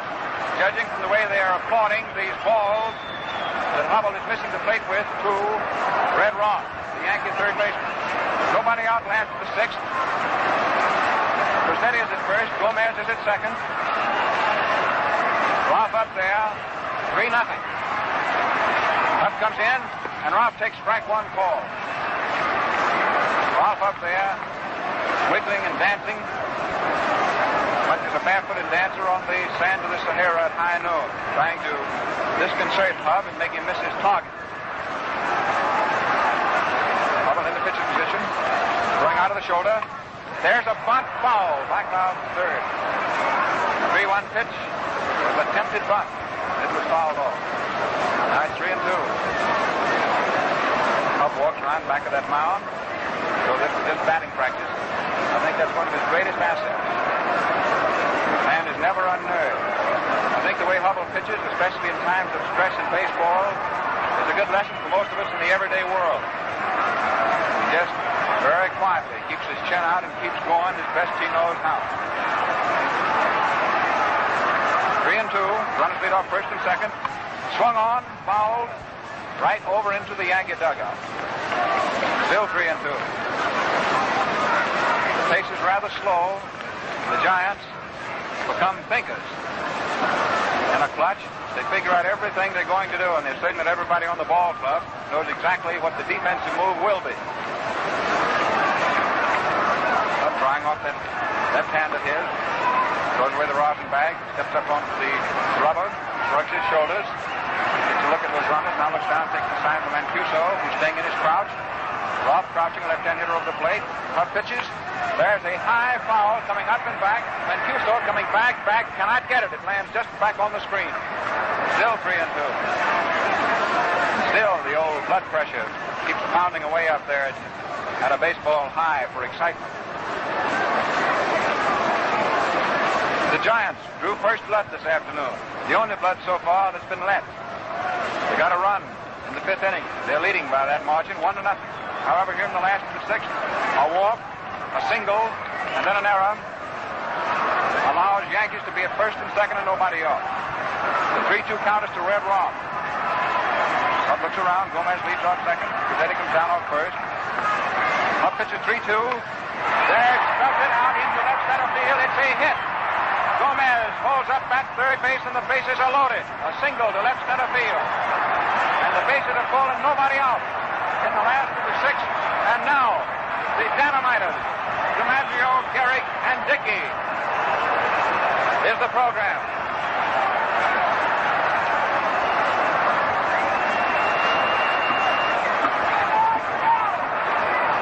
Down in the Giant bullpen, one of the relief pitchers is being warmed up, but he is completely hidden from view so we can't tell you who it is. You cannot see in either team's bullpen here at the stadium the potential relief pitchers as they groom themselves to get ready. A single into left center field by Rolfe. Advances Crosetti to second base and Gomez to third. They both had to hold to see whether Joe Moore could come in and make the catch, which he couldn't. Now the bases loaded, nobody out. Last of the sixth inning, and Joe DiMaggio. Jolting Joe is up there. Right hand hitter. Feet wide spread. He spread eagle right through the middle of batter's box.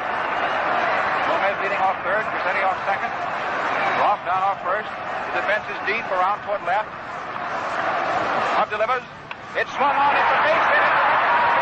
In comes Gomez. Crosetti around third. Is heading for the plate. Two runs are in. And runners are on first and second.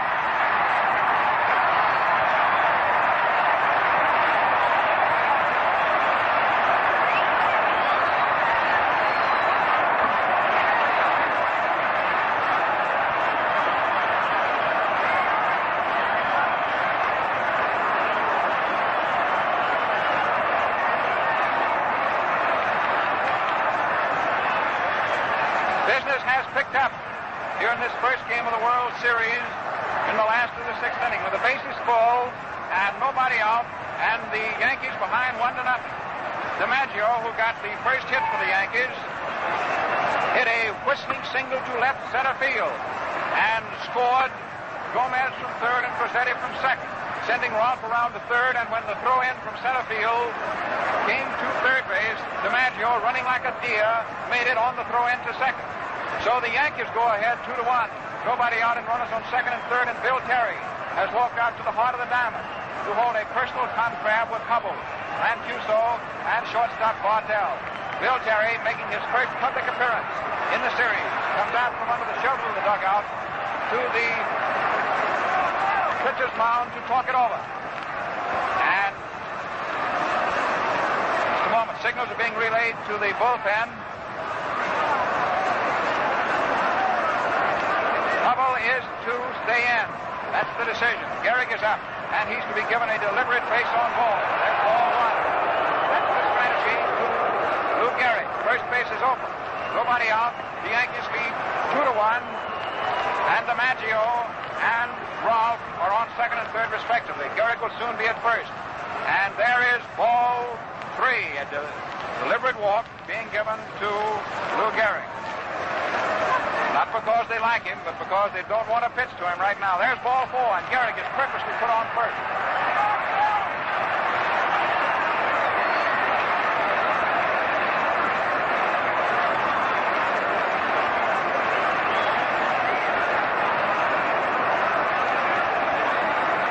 Again, the bases are loaded with nobody out in the last of the sixth. Bill Dickey is up there. Bad Bill, as the Yankees call him right now. He'll be Sweet William if he delivers. The infield is pulled up on the base paths. The left-hand hitter is Dickey. Hubbell pitching. Low outside for ball one.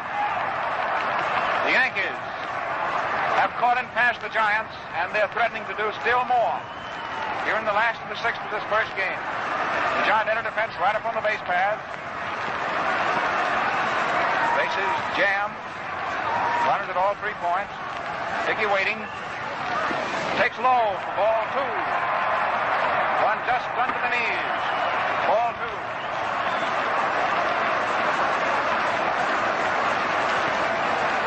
Two to one. The Yankees in this Innis City series. Hubbell, one of the toughest spots of his life. It's a sweltering hot afternoon, cloudy. Hutton has extra heat applied to him right now at the moment, aside from the weather. Dickey waiting. He's ahead. 2 nothing pitch. Swung on as a ground ball. The bases remain full and a run scores.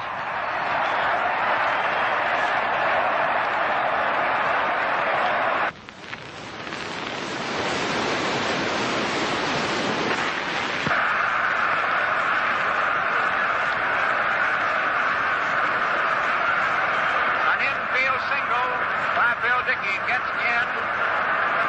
Trout from third base, and the Yankees go ahead. Three to one. The bases still are loaded, and yet no one is out in the last of the sixth.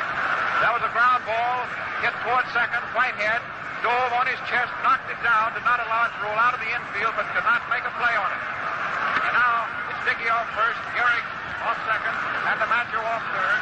The batter is Cole, hitting right-handed. Nobody out. High inside. Ball one. Cole hitting right-handed. Hubbell. Great left-hander. In a great deal of trouble. Three to one now. And the Yankees are pressing their advantage, riding hard. Hogan a crouch. Swings and misses. One and one. Up broke a curve in just above his knees on the inside.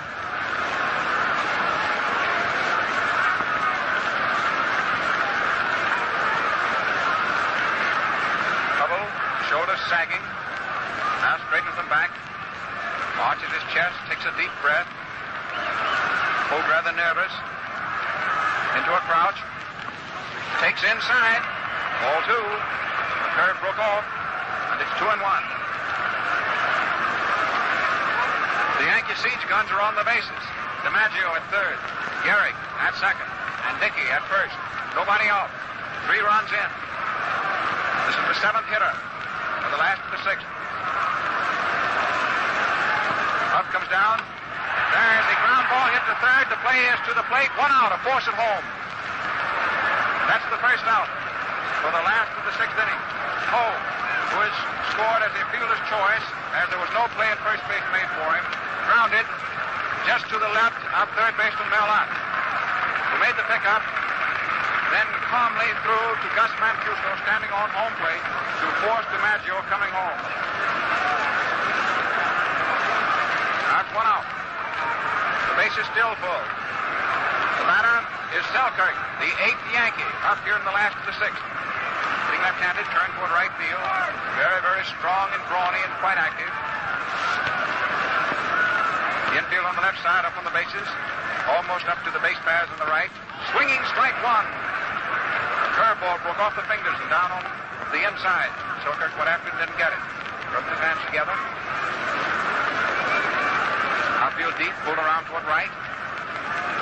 Shortstop Bartell and Ott, right up on the baseline. Whitehead's back a step or from the baseline.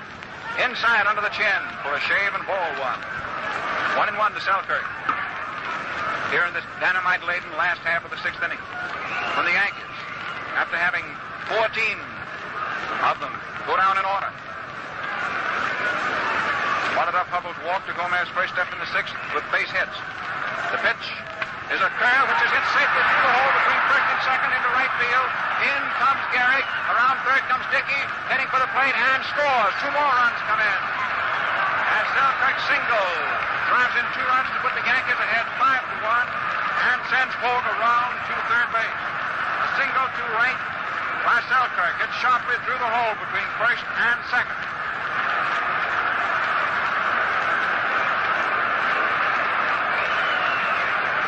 And the Yankees are going away. They're now in front five to one. And Mancuso walks sadly out to the mound. Hubbell is finished.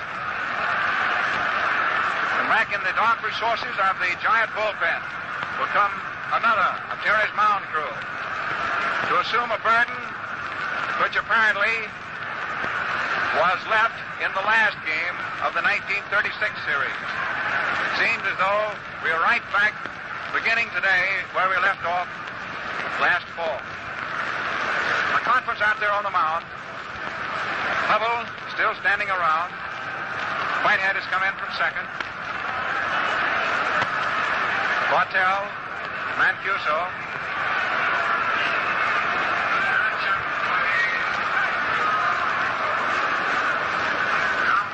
Harry Gumbert. Harry Gumbert, the tall young right-hander, is coming in to relieve Carl Hubbell. Eight of the Yankees faced Hubbell in the last of this sixth inning. Seven of them got safely on, and five of them have scored.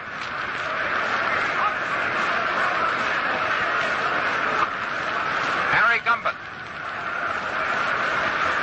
Very tall, making that long walk. The bullpen for the Giants is hidden in the stands behind right center field. He has to make all that distance as he comes into the ball game. In other words, he gets pretty well acclimated before he ever gets to the mound. Number 14, now pitching.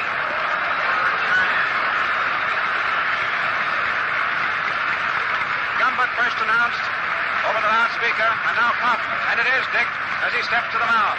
It's Dick Coffman, the former American Leaguer. Before the relief pitcher came into sight, Gumbert was announced as replacing Hubbell. But after the pitcher came into sight, it was announced as Coffman.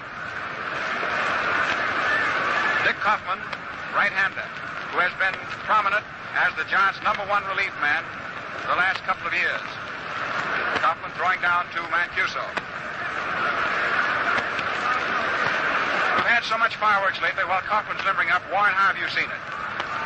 Well, I it seems a long time to go back that far, Red, but I'm still thinking about that play at second base when the ball got away from Dick Bartell after it seemed as though Mancuso had trapped him off, and it was amazing the way the Yankees leaped into action after that break, which was very definitely the break for which they've been waiting throughout this entire ball game. It's also interesting to me to note that when Gomez had his bad inning, which was the fifth, he managed to escape from there with one run. When it came time for the Yankees to tear after Hubbell, one thing or another, combined with their own powerful hitting, particularly those singles, which were hit with a great deal of authority, certainly ruined his afternoon for him very rapidly. There was uh, one possible play in this inning, a play that uh, Whitehead tried to make on the ball Bill Dickey hit down. It was a slow hit ball, and Whitey made a noble try for the ball, diving after it, but he was unable to uh, get the ball and get it in time to make a play for anyone. It seems interesting to me, Red, at the present time that we've gone through an inning here with the Yankees making five runs, and so far there is no uh, semblance of their patented home run. Been almost in one of these big innings of the Yankees. It seems as though somebody walks up there and hits one out of the park. Isn't that your impression of the Yankee big inning? Right you are, Warren. And uh, there's also some big stuff brewing down there, which uh, doesn't very often happen. Now, that uh, mistake about announcing Gumbert as the relief pitcher is causing a furor, and I guess you know the technicalities involved. Suppose you go ahead and explain it, Warren. Well, after he becomes announced uh, officially as the pitcher, he is definitely the pitcher until at least he throws one ball. And when uh, Coffman appeared on the mound, Art Fletcher, the Yankee coach, immediately went over and started complaining to the umpires about it, and the result was there was quite a conference. Now we have Gumbert back there. Gumbert, number 10, now pitching for the Giants.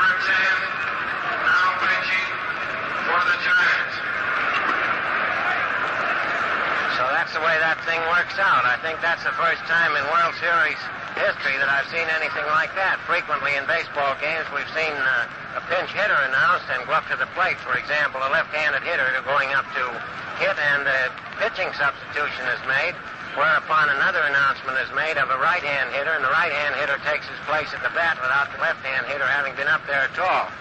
But as far back as I can remember, this is the first time we've had a pitcher in the game without doing any more than warming up in the bullpen and walking all that long distance. And it certainly is a long distance from that uh, giant bullpen in right field. So that now that law and order has been restored again, we really do have uh, Harry Gumbert out there pitching, and I congratulate you, Red, on uh, detecting that, even though Coffman got in ahead of him. Well, thanks a great deal, Warren. And uh, I guess baseball is like life itself. You can never tell just exactly what's going to happen. First, uh, Gumbert is announced, and then a correction. And apparently that's all there is to it. Uh, so most of the folks up here think that Coffman's coming in to pitch. And then suddenly uh, a technicality is involved. And it involved, was involved around whether the public address announcer was officially informed that Gumbert would pitch. And evidently he was, because that being the case, Gumbert has to pitch. Had the uh, announcer himself, just on his own authority, said Gumbert would pitch, that wouldn't have had any bearing. And now up there now is Lazzeri. But the throw goes over to first base as Gumbert officially goes to work. Harry Gumbert, the former Baltimore Oriole, throws again to first base. Situation here in the last of the sixth. With one man out, Selkirk is at first, and Hoag is at third. The Yankees are riding out in front, five to one. Up there at the plate in a crouch is the very stick. Gumbert delivers inside for ball one. And now technically Gumbert is in the ball game. He's delivered one pitch to Tony Lazzeri. Around toward left. Lead first and third. A curve floating down in there for call strike one. Lazzeri looking at it takes it. Tony hit back to Hubbell in the second inning and was promptly tossed out at first, and then Hub struck him out in the fifth. That was when Hub wound up his great sequence of 14 straight Yankee victories. And that was the last of that string. The Yankees put on a string of their own here in the last of the sixth. There's a slow ball hit through second base to right center field. In from Around the third goes Selkirk.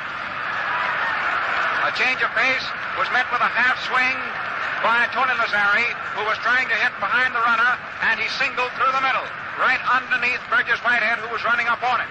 And in comes another run, and the Yankees are now plus five, leading six to one. And Gomez, who was first up in the last of the sixth, is now coming up for his second trip in the last of this inning, the tenth Yankee to bat, and just one man is out. Right back through the middle by Lazzeri. Which bats in still another Yankee run. And Gumbert, who had to come out and pitch to one man, now is taken out and Coffman comes in.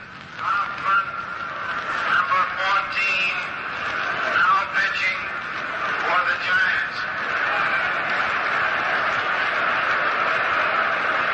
And now at long last, as the fellow once said, Coffman is in the ball game. Dick Coffman comes into the ball game, and as he comes in, the Yankees are ahead six to one. Gumbert pitched to one batter, Lazzeri, who singled and knocked in the Yankees' sixth run. Up now is Gomez, who was first up in the last of the sixth, then drew a walk. The fateful pass. Gomez hitting left-handed, Dick Coffman, tall, rugged right-hander.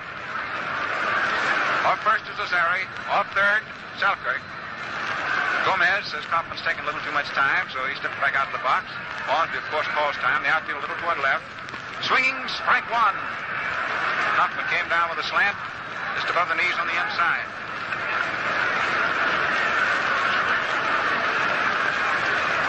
Gomez chokes that bat just about an inch, pumps it back and forth. Shot infield, pulled right up on the base paths. Low inside for ball one, right across the shins. One and one.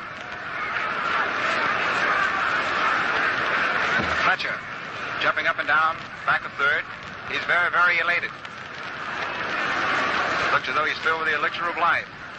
The pitch is low. And it's ball two. Two and one.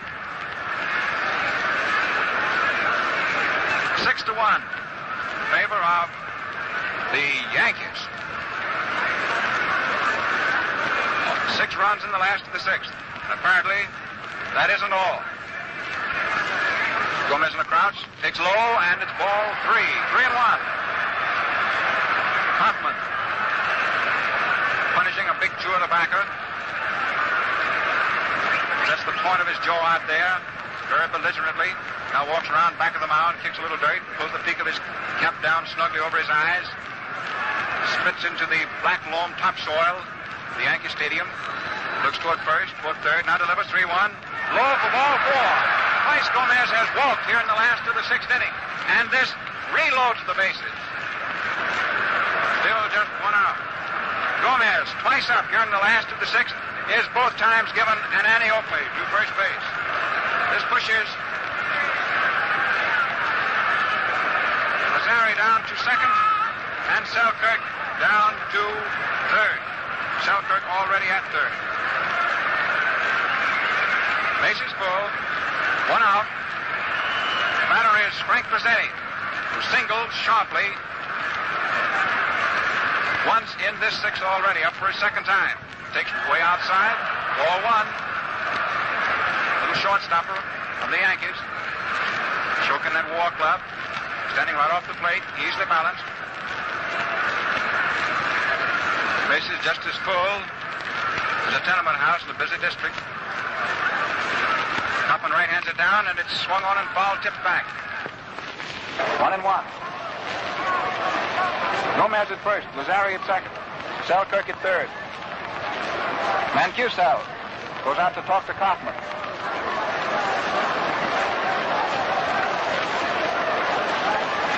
Infield, lazily passing the ball around between themselves.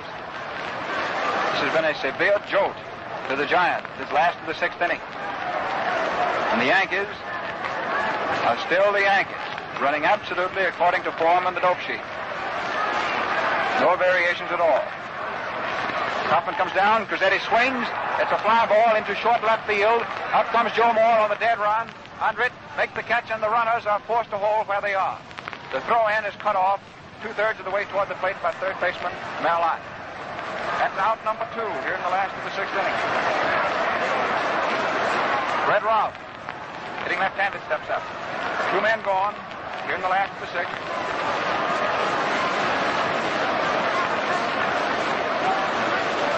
Bases full.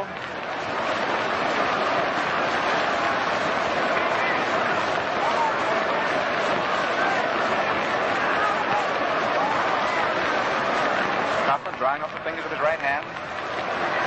Pulls the black cap down snug around his ears. Pumps that stick back and forth. Feel a little toward right. Pitches outside, a change of pace. Ball one.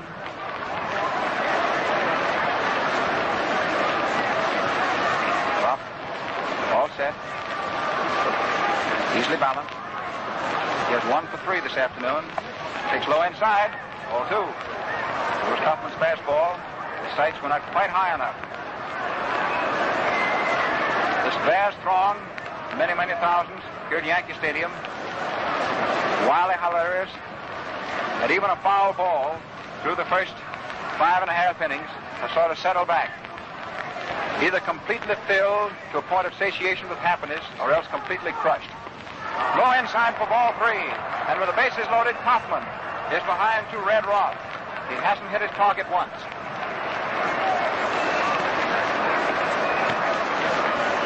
Three and oh.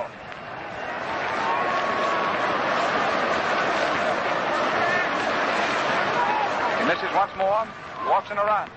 There's a strike. Just on the knees on the inside. 3 1. Bob stepping back out of the box, steps in again. Mancuso down in his crouch, calls for it. Runners don't lead down very far. Now they start streaking off. Gomez isn't cutting up down at first. Conserving his energies. The pitch. Outside for ball four on a walk to Rolfe with the bases full. And in comes another Yankee run. Rolfe is credited with batting in that run. 7-2-1 in favor of the Yankees. Six runs to a good. Scored on that play. Sari moving down to third and Gomez to second. Up now is Joe DiMaggio swings.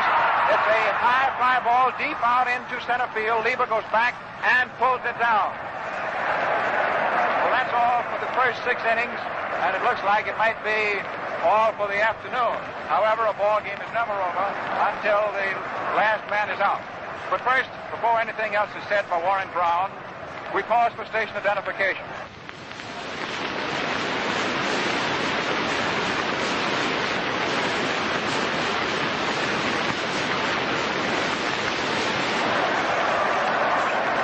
Back at the Yankee Stadium, and this ball game coming to you through the National Broadcasting Company and its associated stations has certainly provided a big inning, finally, after we remained around here for upwards of five and a half innings watching quite a pitching duel between Lefty Gomez and Carl Hubbell.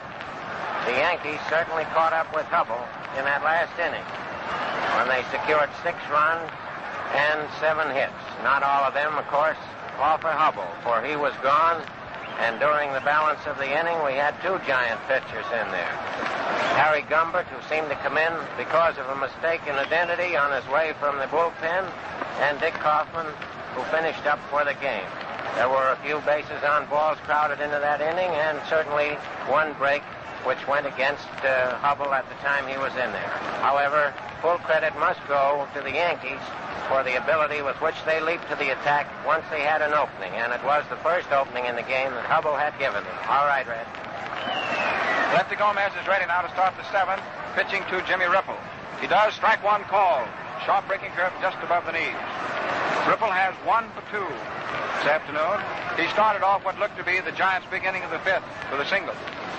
Takes low outside, it's one and one. Gomez has never lost World Series ball game. And it looks as though he'll still be able to camp on that record for another few hours. Seven to one, favor of the Yankees. Ripple swinging, foul tips it back. Strike two, one and two. First Giant up from the seventh. Yankees ahead seven to one. After Ripple, McCarthy, then Mancuso. Infield straight away. Up a step on the left side. Full depth on the right. Outfield a couple of steps toward right on Jimmy. Full hitter. Swings. There's a fly ball going out into left. Pogue coming up fast. Takes it on the run. It's all for Ripple. One up, one gone to seventh. Batters McCarthy. He has one for two. He singled through Lazzeri in the fifth inning to send Ripple around to third base. Jimmy later coming in on Mancuso's double play ball. The only run the Giants have. A rookie, takes strike one call. This has been his rookie year in the big leagues. And at the end of his first year in the majors, here he is in the World Series, and he has one for two at the moment, up for his third time. Swings and misses at a curve, strike two. Missed that one off the end of his bat. They're playing McCarthy just as they did Ripple as far as the outfield is concerned, toward right, left side of the infield the same, and Lazzeri is a step or so more down toward first. High inside, on the chest for ball one. One and two. McCarthy, very slender. Big Bill Dickey sets his mitt.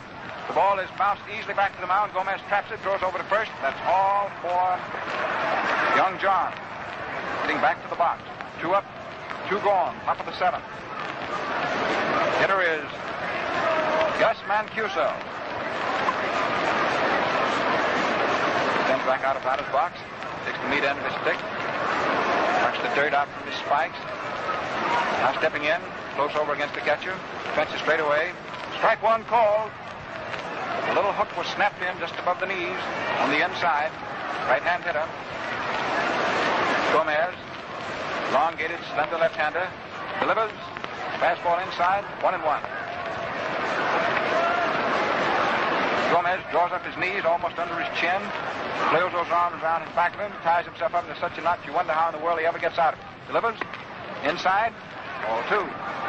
Two and one. Lefty pitching just as he has all the afternoon. Taking the sign, then going right to work. Takes time out for a blow right now. Looks into the dirt as though he were reading a letter from home. Straightens up, blows again. And this time, it's Mancuso who backs away and says, well, have the blows on me this time. Gus steps in. Double swinging stretch. Gomez delivers. Mancuso hits it high out into short center field. DiMaggio comes running under it and takes it. And it's nothing across for the Giants in the top of the seventh. And more observations from Warren.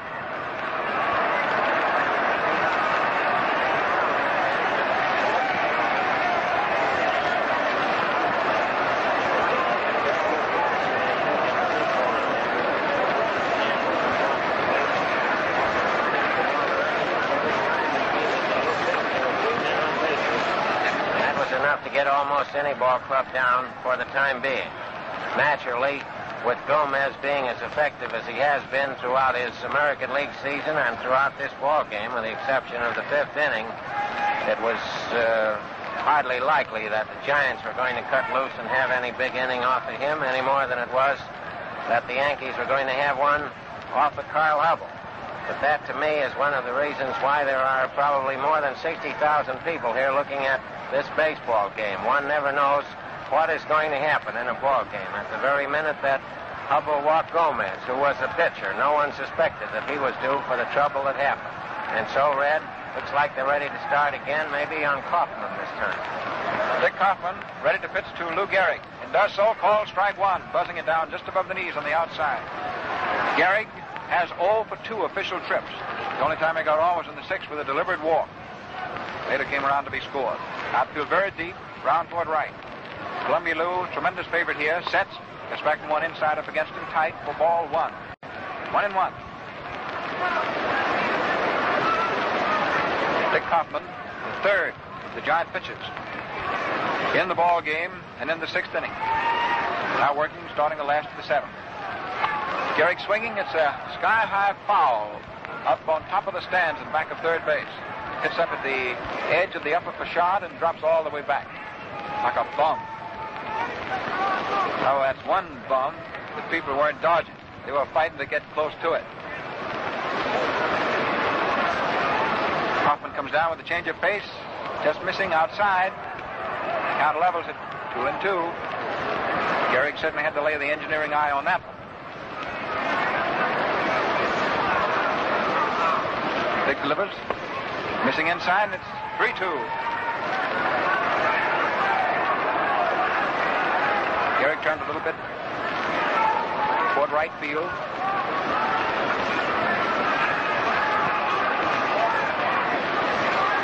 Digs in solidly, standing on those piano legs of his. Takes outside for ball four. And Gehrig is walked first up in the last of the seventh. Walk number three, given up by Coffman. Walk number six, given to the Yankees.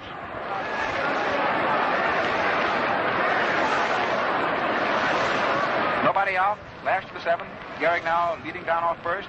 Bill Dickey, who has one hit out of three tries, stands waiting. Batting left-handed. Very, very tall and slender for a catcher. Outfield toward right. Dickey pulls. Infield pull up around second. Bill takes a curve outside. Ball one. Coffman missing.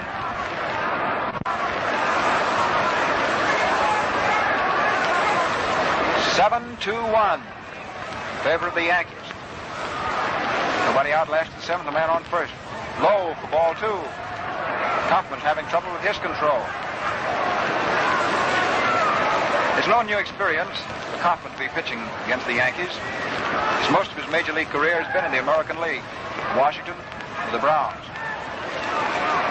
Being released by the St. Louis Browns, came over to the National League with the Giants. Pitches inside. There's a throw down to first, not in time by Mancuso. And it's 3 0. 3 0 to Bill Dickey. Gehrig on first with a pass. Safety set. Coffman misses inside with his 3 0 pitch for ball four, and Dickey trots off to first base, and Gehrig moves down to second.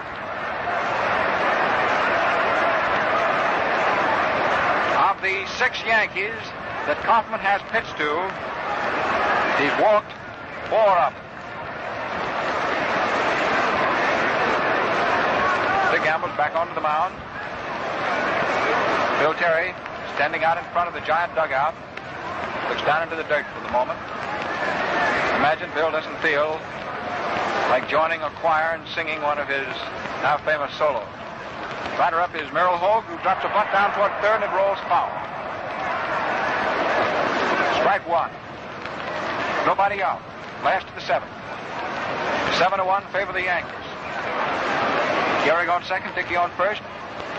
Result of passes by second relief pitcher Dick Coffman. Much attention was focused on the relief pitchers in the last of the sixth inning. And there was a slip up on the generalship somewhere. Gumbert was announced, and he was sitting in on the dugout. Hadn't thrown a ball, hadn't even been in the bullpen. He had to hurriedly go out and pitch to one Yankee, even though Coffman was announced following him.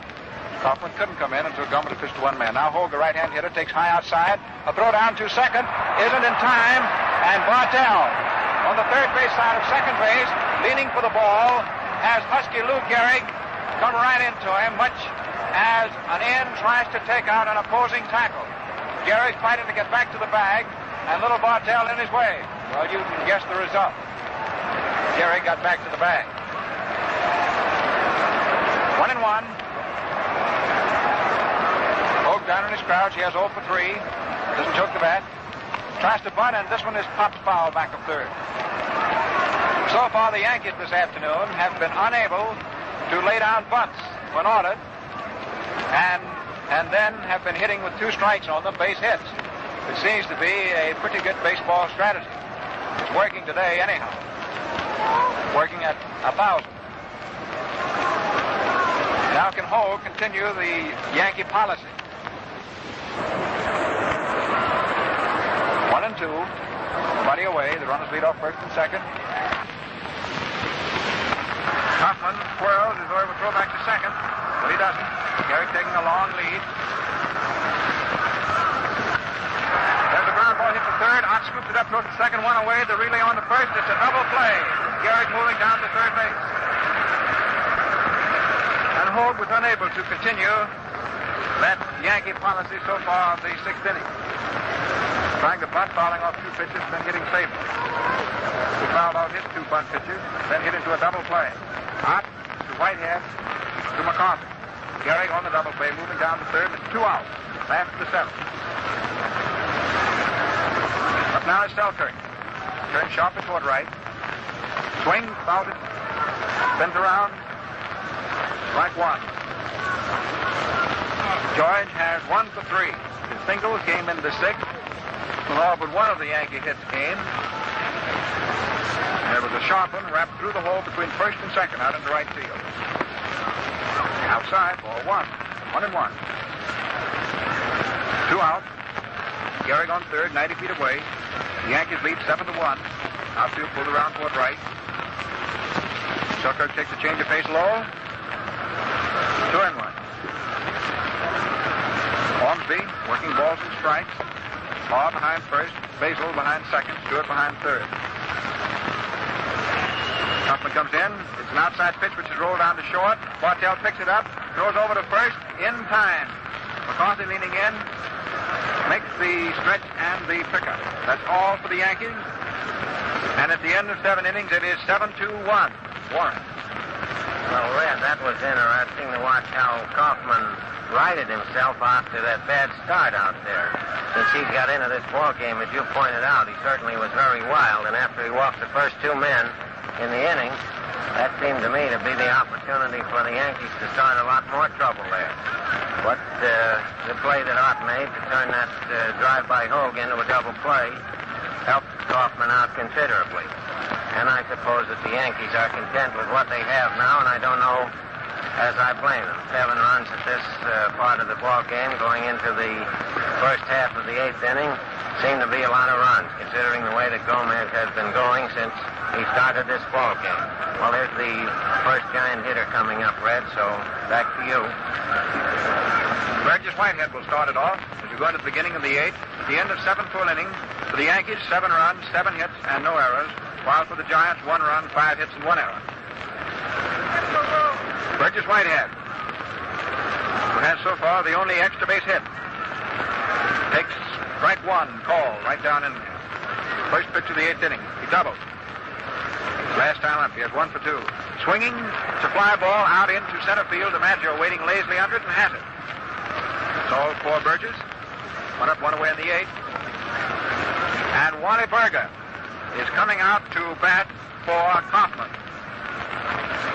Big Wally Berger, former big fam of the Boston Club of the National League. Well, there's not going to be any slip up on who's going to pinch hit. Umpire Ormsby and the public address announcer meet, and they tell each other exactly what's coming off. Number three, batting for Coffman. The first Berger is high outside. Ball one. Wally is the big strapping six footer, hitting right handed. Gomez delivers. Berger swings. It's a high fly ball long out in the center. DiMaggio waiting, waiting, takes it. It's off for Berger. Two up, two away. Top of the eighth. Jojo Moore, the thin man of the Giants, or the Gauze Ghost, he's sometimes called. Now steps up to hit for his fourth time. Means the Giants are starting their fourth batting around. Joe single through the middle in the sixth. He has one for three. Hitting left-handed, then deep in the box. Takes strike one, call. Sharp curve down above the knees. Moore is feared as one of the most dangerous first ball hitters in baseball, and he hasn't swung on a first pitch this afternoon. Takes low inside. Ball one. One and one.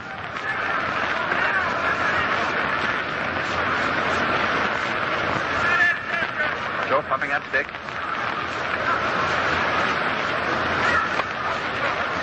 Pitch low outside. Moore's ahead. Gomez behind.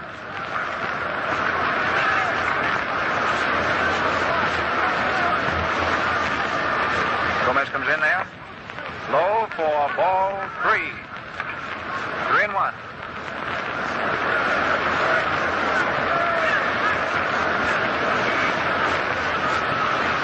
Pitch. All strike two. Three two. Outfield toward right. Four swinging. It's a high foul. Back of third. Cross goes over, but he cannot get it. Back into the boxes. Still 3 2. Two out. Nobody on. John half of the eighth inning, which is the first of the eighth. The series is being opened. Yankee Stadium, the American League ballpark this year. The Yankees, the home club. Seven to one. The argument of power supremacy. Seven to one, favor the Yankees. Moore swings on another 3-2 pitch. This was a fly ball into short left field, and it drops safely in there for a base hit. Moore turns to the left at first and then holds on, dropping a fly ball single in short left field, about 15 feet inside the foul line. That's the second straight hit for Moore. He's the first Giant to have more than one blow. It's hit number six off Gomez, and it's the first hit off Gomez since Whitehead doubled with two out in the fifth.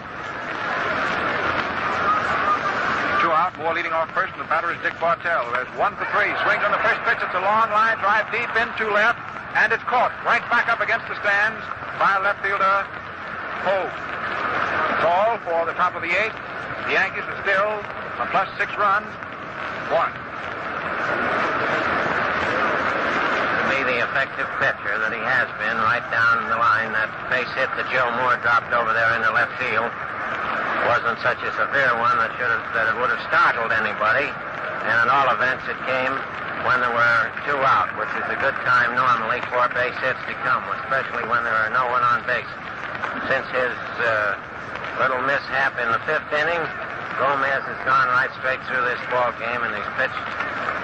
I wouldn't say remarkable baseball, but he's pitched the kind of baseball that people have been expecting from him. Because of the fact that Wally Berger was used as a pinch hitter in the game, we will have a chance this afternoon to look at uh, four of the Giant pitchers. And Red, because we can never be sure who the uh, giant pitchers are after that uh, practice was established through the sixth inning.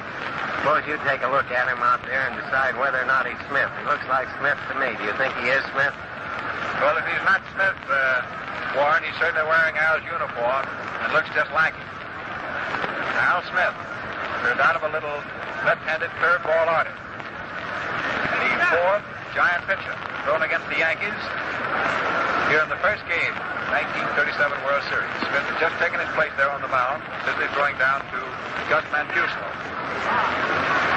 In the season of 36, Smith was just about tops for the Giant relievers. One time, Bill Terry said that he just about the best relief pitcher that he ever saw, especially coming in there with a curveball. However, this year, Al has not been tremendously effective. And the relief burden among the Giants has had to be uh, shifted around from man to man. However, it's a well-known fact that when the Giants want some real relief pitching, Hubbell has usually been the fellow who went out there and made one run stand up. First Yankee up in the last of the eighth inning is Tony Lazzeri. Lots of people are now beginning to leave as we go into the last of the eighth inning.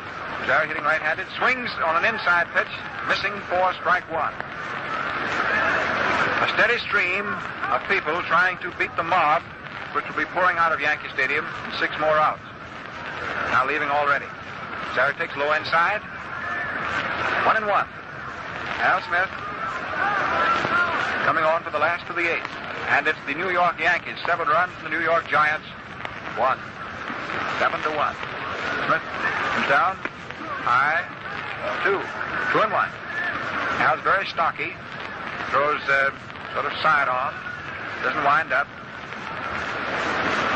Outfield is toward left on Lazzeri. Tony takes up against him for ball three. 3 1. Smith taking the return from Mancuso back slowly back to the mound.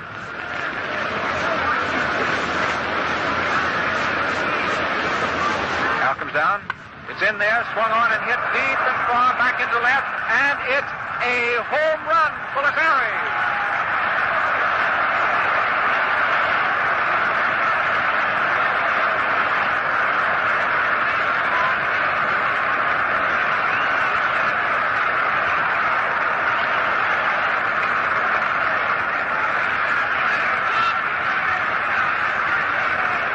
A fat pitch, as the boys say, that 3-1 came down in there and did Lazzeri go after it and get fat on it. The first home run of the 1937 World Series. Hit high, far into the lower spectators, deep behind left field, and well up among them. No question about that. And now it's 8 to 1. And Gomez is up. Swings and misses, strike one. About the one thing left to make Gomez's cup of joy overflow is to get a base hit. He, like any other pitcher, dearly loves him. Gets back from one up against him, one and one. Lazzeri really pickled one for keeps just a moment ago. Smith comes down with a curve in there. Called strike two. That one drove Gomez. Left-hand hitter back a step and then broke away from him and down over cleanly. One ball, two strikes, nobody out.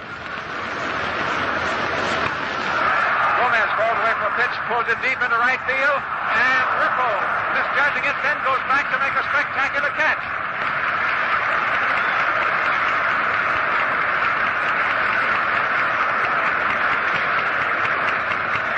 Gomez set to hit that pitch, fell into it, and got his whole weight behind it and drove it deep out into right. Ripple came in, misjudged it at first, then saw the ball was going to carry far over his head, started running back. One foot slipped underneath him, but still he managed to get strength from somewhere and leap high into the air to make a spectacular one-handed catch and save himself. Frank Crosetti hits the first pitch, a line drive right to Mel Ott. And that's two away in the last of the eighth inning. Warren's going to tell you more about Ripple's catch. I can see him sort of licking his chops in preparation for that. Line drive hit by Crosetti to Mel Ott for the second out. Now it's two away, last of the eighth inning. Nobody on and Red Rolfe up. He has one, four, three official tries. Hitting left-handed, he tries to bunt and foul tips it. Strike one. Left-hand batter, left-hand pitcher, Al Smith, the fourth giant hurler in this ball game. Is the sixth inning. Eight to one. Favor of the Yankees. Outfield straight away. Drop doesn't go after it, but it's good. Ball strike two.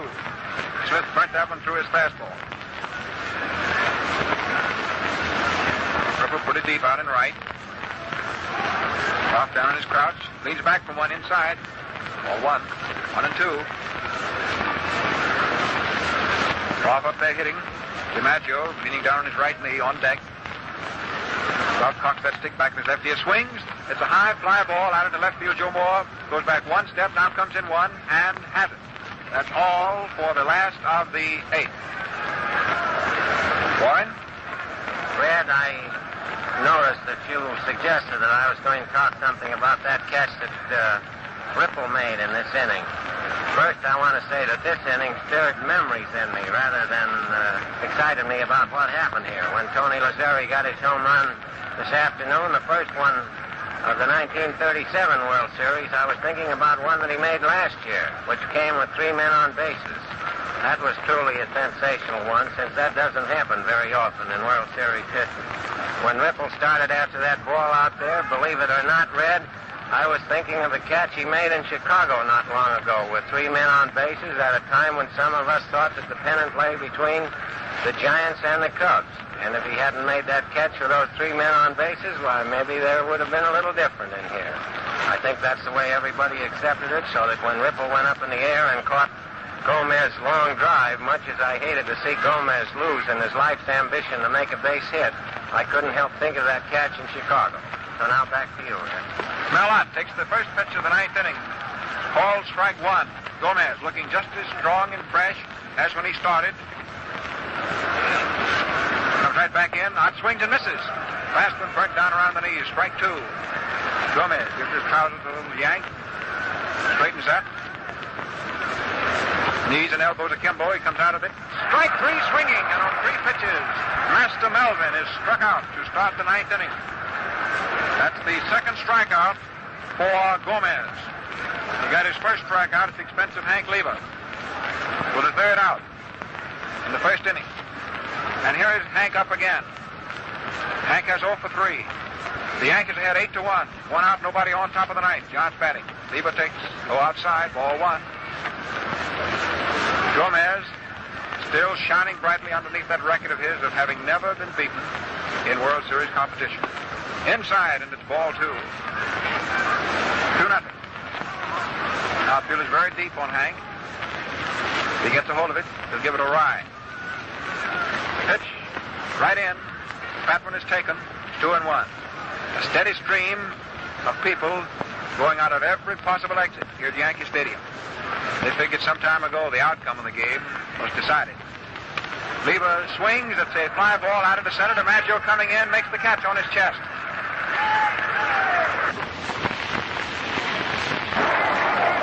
Two away, top of the ninth. Up steps Jimmy Ripple, who found Major League Baseball was much more lucrative and pleasant than being an ambidextrous paper hanger. Outfield toward right. Ripple hitting left-handed, takes inside against him, all one. Jimmy looking very calm and cool. To say that he is a left-handed hitter is only half the truth. The pitch. Call strike one. When Ripple came to the Giants, he hit from either side of the plate. Terry insisted that he hit as a left-handed swinger. Low, outside, one and two.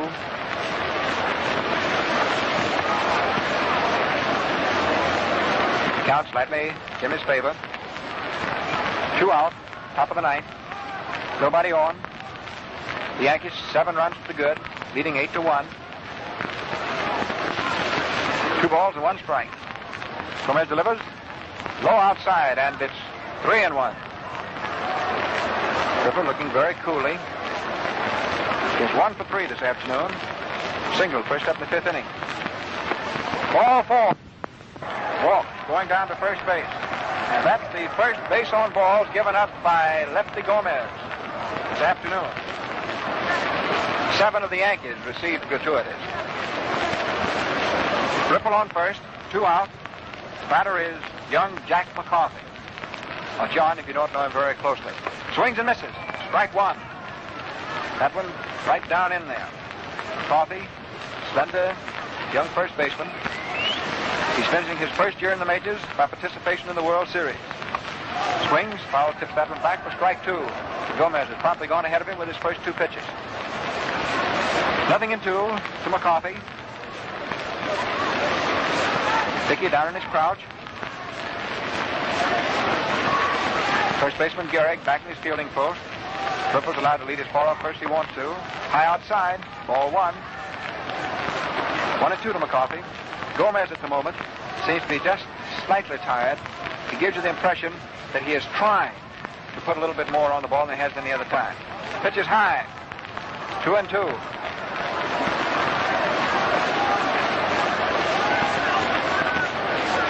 Two two. Two out. Top of the ninth. Carthy waiting. Dickey calls for the pitch. Carthy swinging, foul tips it right back onto the screen. Count still hangs at two and two. Field pulled toward right. Things are quiet right now. About the only hubbub from the spectators are those who are moving, trying to get out of the park. Pitch misses outside by a hair for ball three. And it's three and two to Jack McCarthy. And now the running hit is on for Ripple at first base. Be breaking on Gomez's arm. He does. Pitches in, rolls slowly down toward first. Gehrig comes in to field it, picks it up, and tags McCarthy out as Jack comes running into first base. Gehrig, with a big grin on his face, stuffs that baseball in his hip pocket, grabs Gomez by the hand. The two of them shake hands and are the first players off the field as they dash into the Yankee dugout and disappear from sight. And the Yankees win, would you say convincingly? Well, I don't know of a better word. And to speak a convincing truth, it's been a great deal of pleasure for this old uh, redhead to be up here talking to you the last four innings. And now this is Red Barber handing you over to the very capable hands of Warren Brown, who is going to put you just right on how everything happened this afternoon and plenty how it did. Warren. Well, thank you, Red. And summing up this ball game, the first of the 1937 World Series, it was, after all, strictly a matter of pitchers. It started out that way between Lefty Gomez, the best pitcher, I suppose, in the American League, and Carl Hubbell, who was certainly the superior left-hander in the National League. Right up until the sixth inning, it was a ball game between these two. And if anything, Hubbell seemed to be the more effective of the two. In the fifth inning, the uh, New York Giants had crowded Gomez sufficiently to score one run, which looked like a lot of runs. In that inning, manager Joe McCarthy of the Yankees, who has steered them to a couple of pennants in a row and one World's Championship, had to make up his mind whether he wanted to pull his infield back and play for a double play and stake the Yankees to, or the Giants, I should say, to one run and take his chance on what would follow. That's what he did. Pulled his infield back, and Gus Mancuso hit into a double play. Out of that, the Yankees were able to escape with only having the one run scored against them, which came in on the double play. And that was the one big inning, or the start of one big inning, that the Giants were able to have off Gomez all afternoon. On the other side of the field, Hubbell, after uh, walking one man and allowing a hit in the first inning, was uh, unhittable right on through to the sixth inning. Then he did a thing which baseball folk always think, uh, since there is a lot of superstition in baseball, they always think that if you walk the first man, and especially if you walk the pitcher, there's going to be trouble. I don't think that any of the more than 60,000 people in this Yankee Stadium this afternoon suspected that when Lefty Gomez got his base on balls to open the sixth inning, that there was going to be quite as much trouble as there was until the last man was retired. Before the last man was retired in that inning, the Yankees had driven Hubbell out of the box, and because of a mistake in announcement, Harry Gumbert was in there in time to pitch to one man who got a base hit off him, and Dick Coffman finally got the inning over. Before he did, there were seven runs scored and six hits. And that was the ball game. Later on in the game, in the eighth inning, with a fourth giant pitcher in action, Al Smith, Tony Lazzeri batted out the only home run, and incidentally, the only Yankee extra base hit of the ball game. That made the score eight for the Yankees at which they rested on their laurels in this first game. In looking over my scorebook here, I find that the Yankees have eight runs and eight hits, which seems to me to be a very effective way of doing business. Going into the game tomorrow, which will also be played at the Yankee Stadium, the second game of the series, I don't imagine either manager will change from his plans. Before the game today, Bill Terry told me that he intended to come in with Cliff Melton, and I imagine he will come in with him. Melton being the young left-hander who has won his 20 games in his first full year up here in the major leagues. Joe McCarthy of the Yankees said that he intended to pitch Red Ruffing tomorrow, and Joe was inclined to go a little further. When he talked to me, Joe is an old friend of mine, and he spoke his mind out to me down there in the Yankee dugout before the game. He said that he didn't think that he would go away from a platform that he established uh, rather effectively last year. He said that it would be Gomez today, Ruffing tomorrow, and after that, Monte Pearson and Bump Hadley. And unless the Giants pull themselves together and tear after Melton, I imagine that's the way the Yankees will go through with the same four pitchers that they used in the World Series last year. The uh, game t- today was certainly an interesting one. There was a lot of spectacular fielding on both sides. And while there wasn't the tremendous burst of hitting that we've been led to expect from these two clubs, and particularly from the Yankees, who have capitalized on their power to win an American League pennant off by themselves, nevertheless, they did mass together and put across one big inning. All right, George Hicks, I'll say goodbye now, and it's yours. Well, all I can say is that the game is over and that historical first marker is down. The are down and the Yanks are up. And the crowd is now pouring out. By the time the game was well underway, by the second inning, practically every seat in the Yankee Stadium was filled. There must have been close to uh, the 60,000 mark and over. The new additions, you know, seats 71,000 at Yankee Stadium now. And so we've had the first game. Right now, as we look down from our tier, the third tier right at the edge over home plate, the diamond itself and the green outfield is simply uh, dotted and spotted all over, and the exits crowded with these thousands of spectators who are taking home their memories of the first game of the 1937 World Series. Uh, as I looked at it, uh, very much of a spectator this afternoon, the walk of Gomez in the sixth and that slashing single to center by DiMaggio with the bases loaded for the first runs, well, I think that broke Hubbell's heart and the Giants' spirit for the game today. And uh, by the way, the only homer today was Lazzeri's, the first man up in the eighth. He pulled a terrifically long and high homer into the left field grandstand. It must have gone at least 400 feet uh, no, nobody on, but that was the homer of the day. And uh, so I guess that's about all we can say. This has been brought to you by the NBC and its associated stations from coast to coast. We'll be back on the air tomorrow, of course, with the second game from the same position at Yankee Stadium. As you know, the first two games are played at the stadium, and then the third, fourth, and if there is a fifth, at Polo Grounds, and the sixth and seventh at the Yankee Stadium if necessary. We'll be back on the air tomorrow at our regular time, 1.15 Eastern Standard Time. That's 12.15 Central, 11.15 Mountain, 10.15 Pacific Standard Time. Your announcers will be Tom Manning of Cleveland, Red Barber of Cincinnati, and Warren Brown, sports editor of the Chicago Herald Examiner. And so, well, that's all. Till tomorrow. George Hicks announcing. This program is brought you through the National Broadcasting Company. We wish to thank the American Home Products Corporation, makers of Old English Wax, Louis Philippe Lipstick, and Kolynos Toothpaste, Sterling Products Incorporated, makers of Phillips Facial Cream, McKesson and Robbins, makers of Calox Tooth Powder, and the Procter & Gamble Company, makers of Camay, Oxidol, Crisco, and Ivory Soap, for their courtesy in relinquishing the time for their programs usually heard over some of these stations in order that the National Broadcasting Company might bring you a description of the World Series baseball game.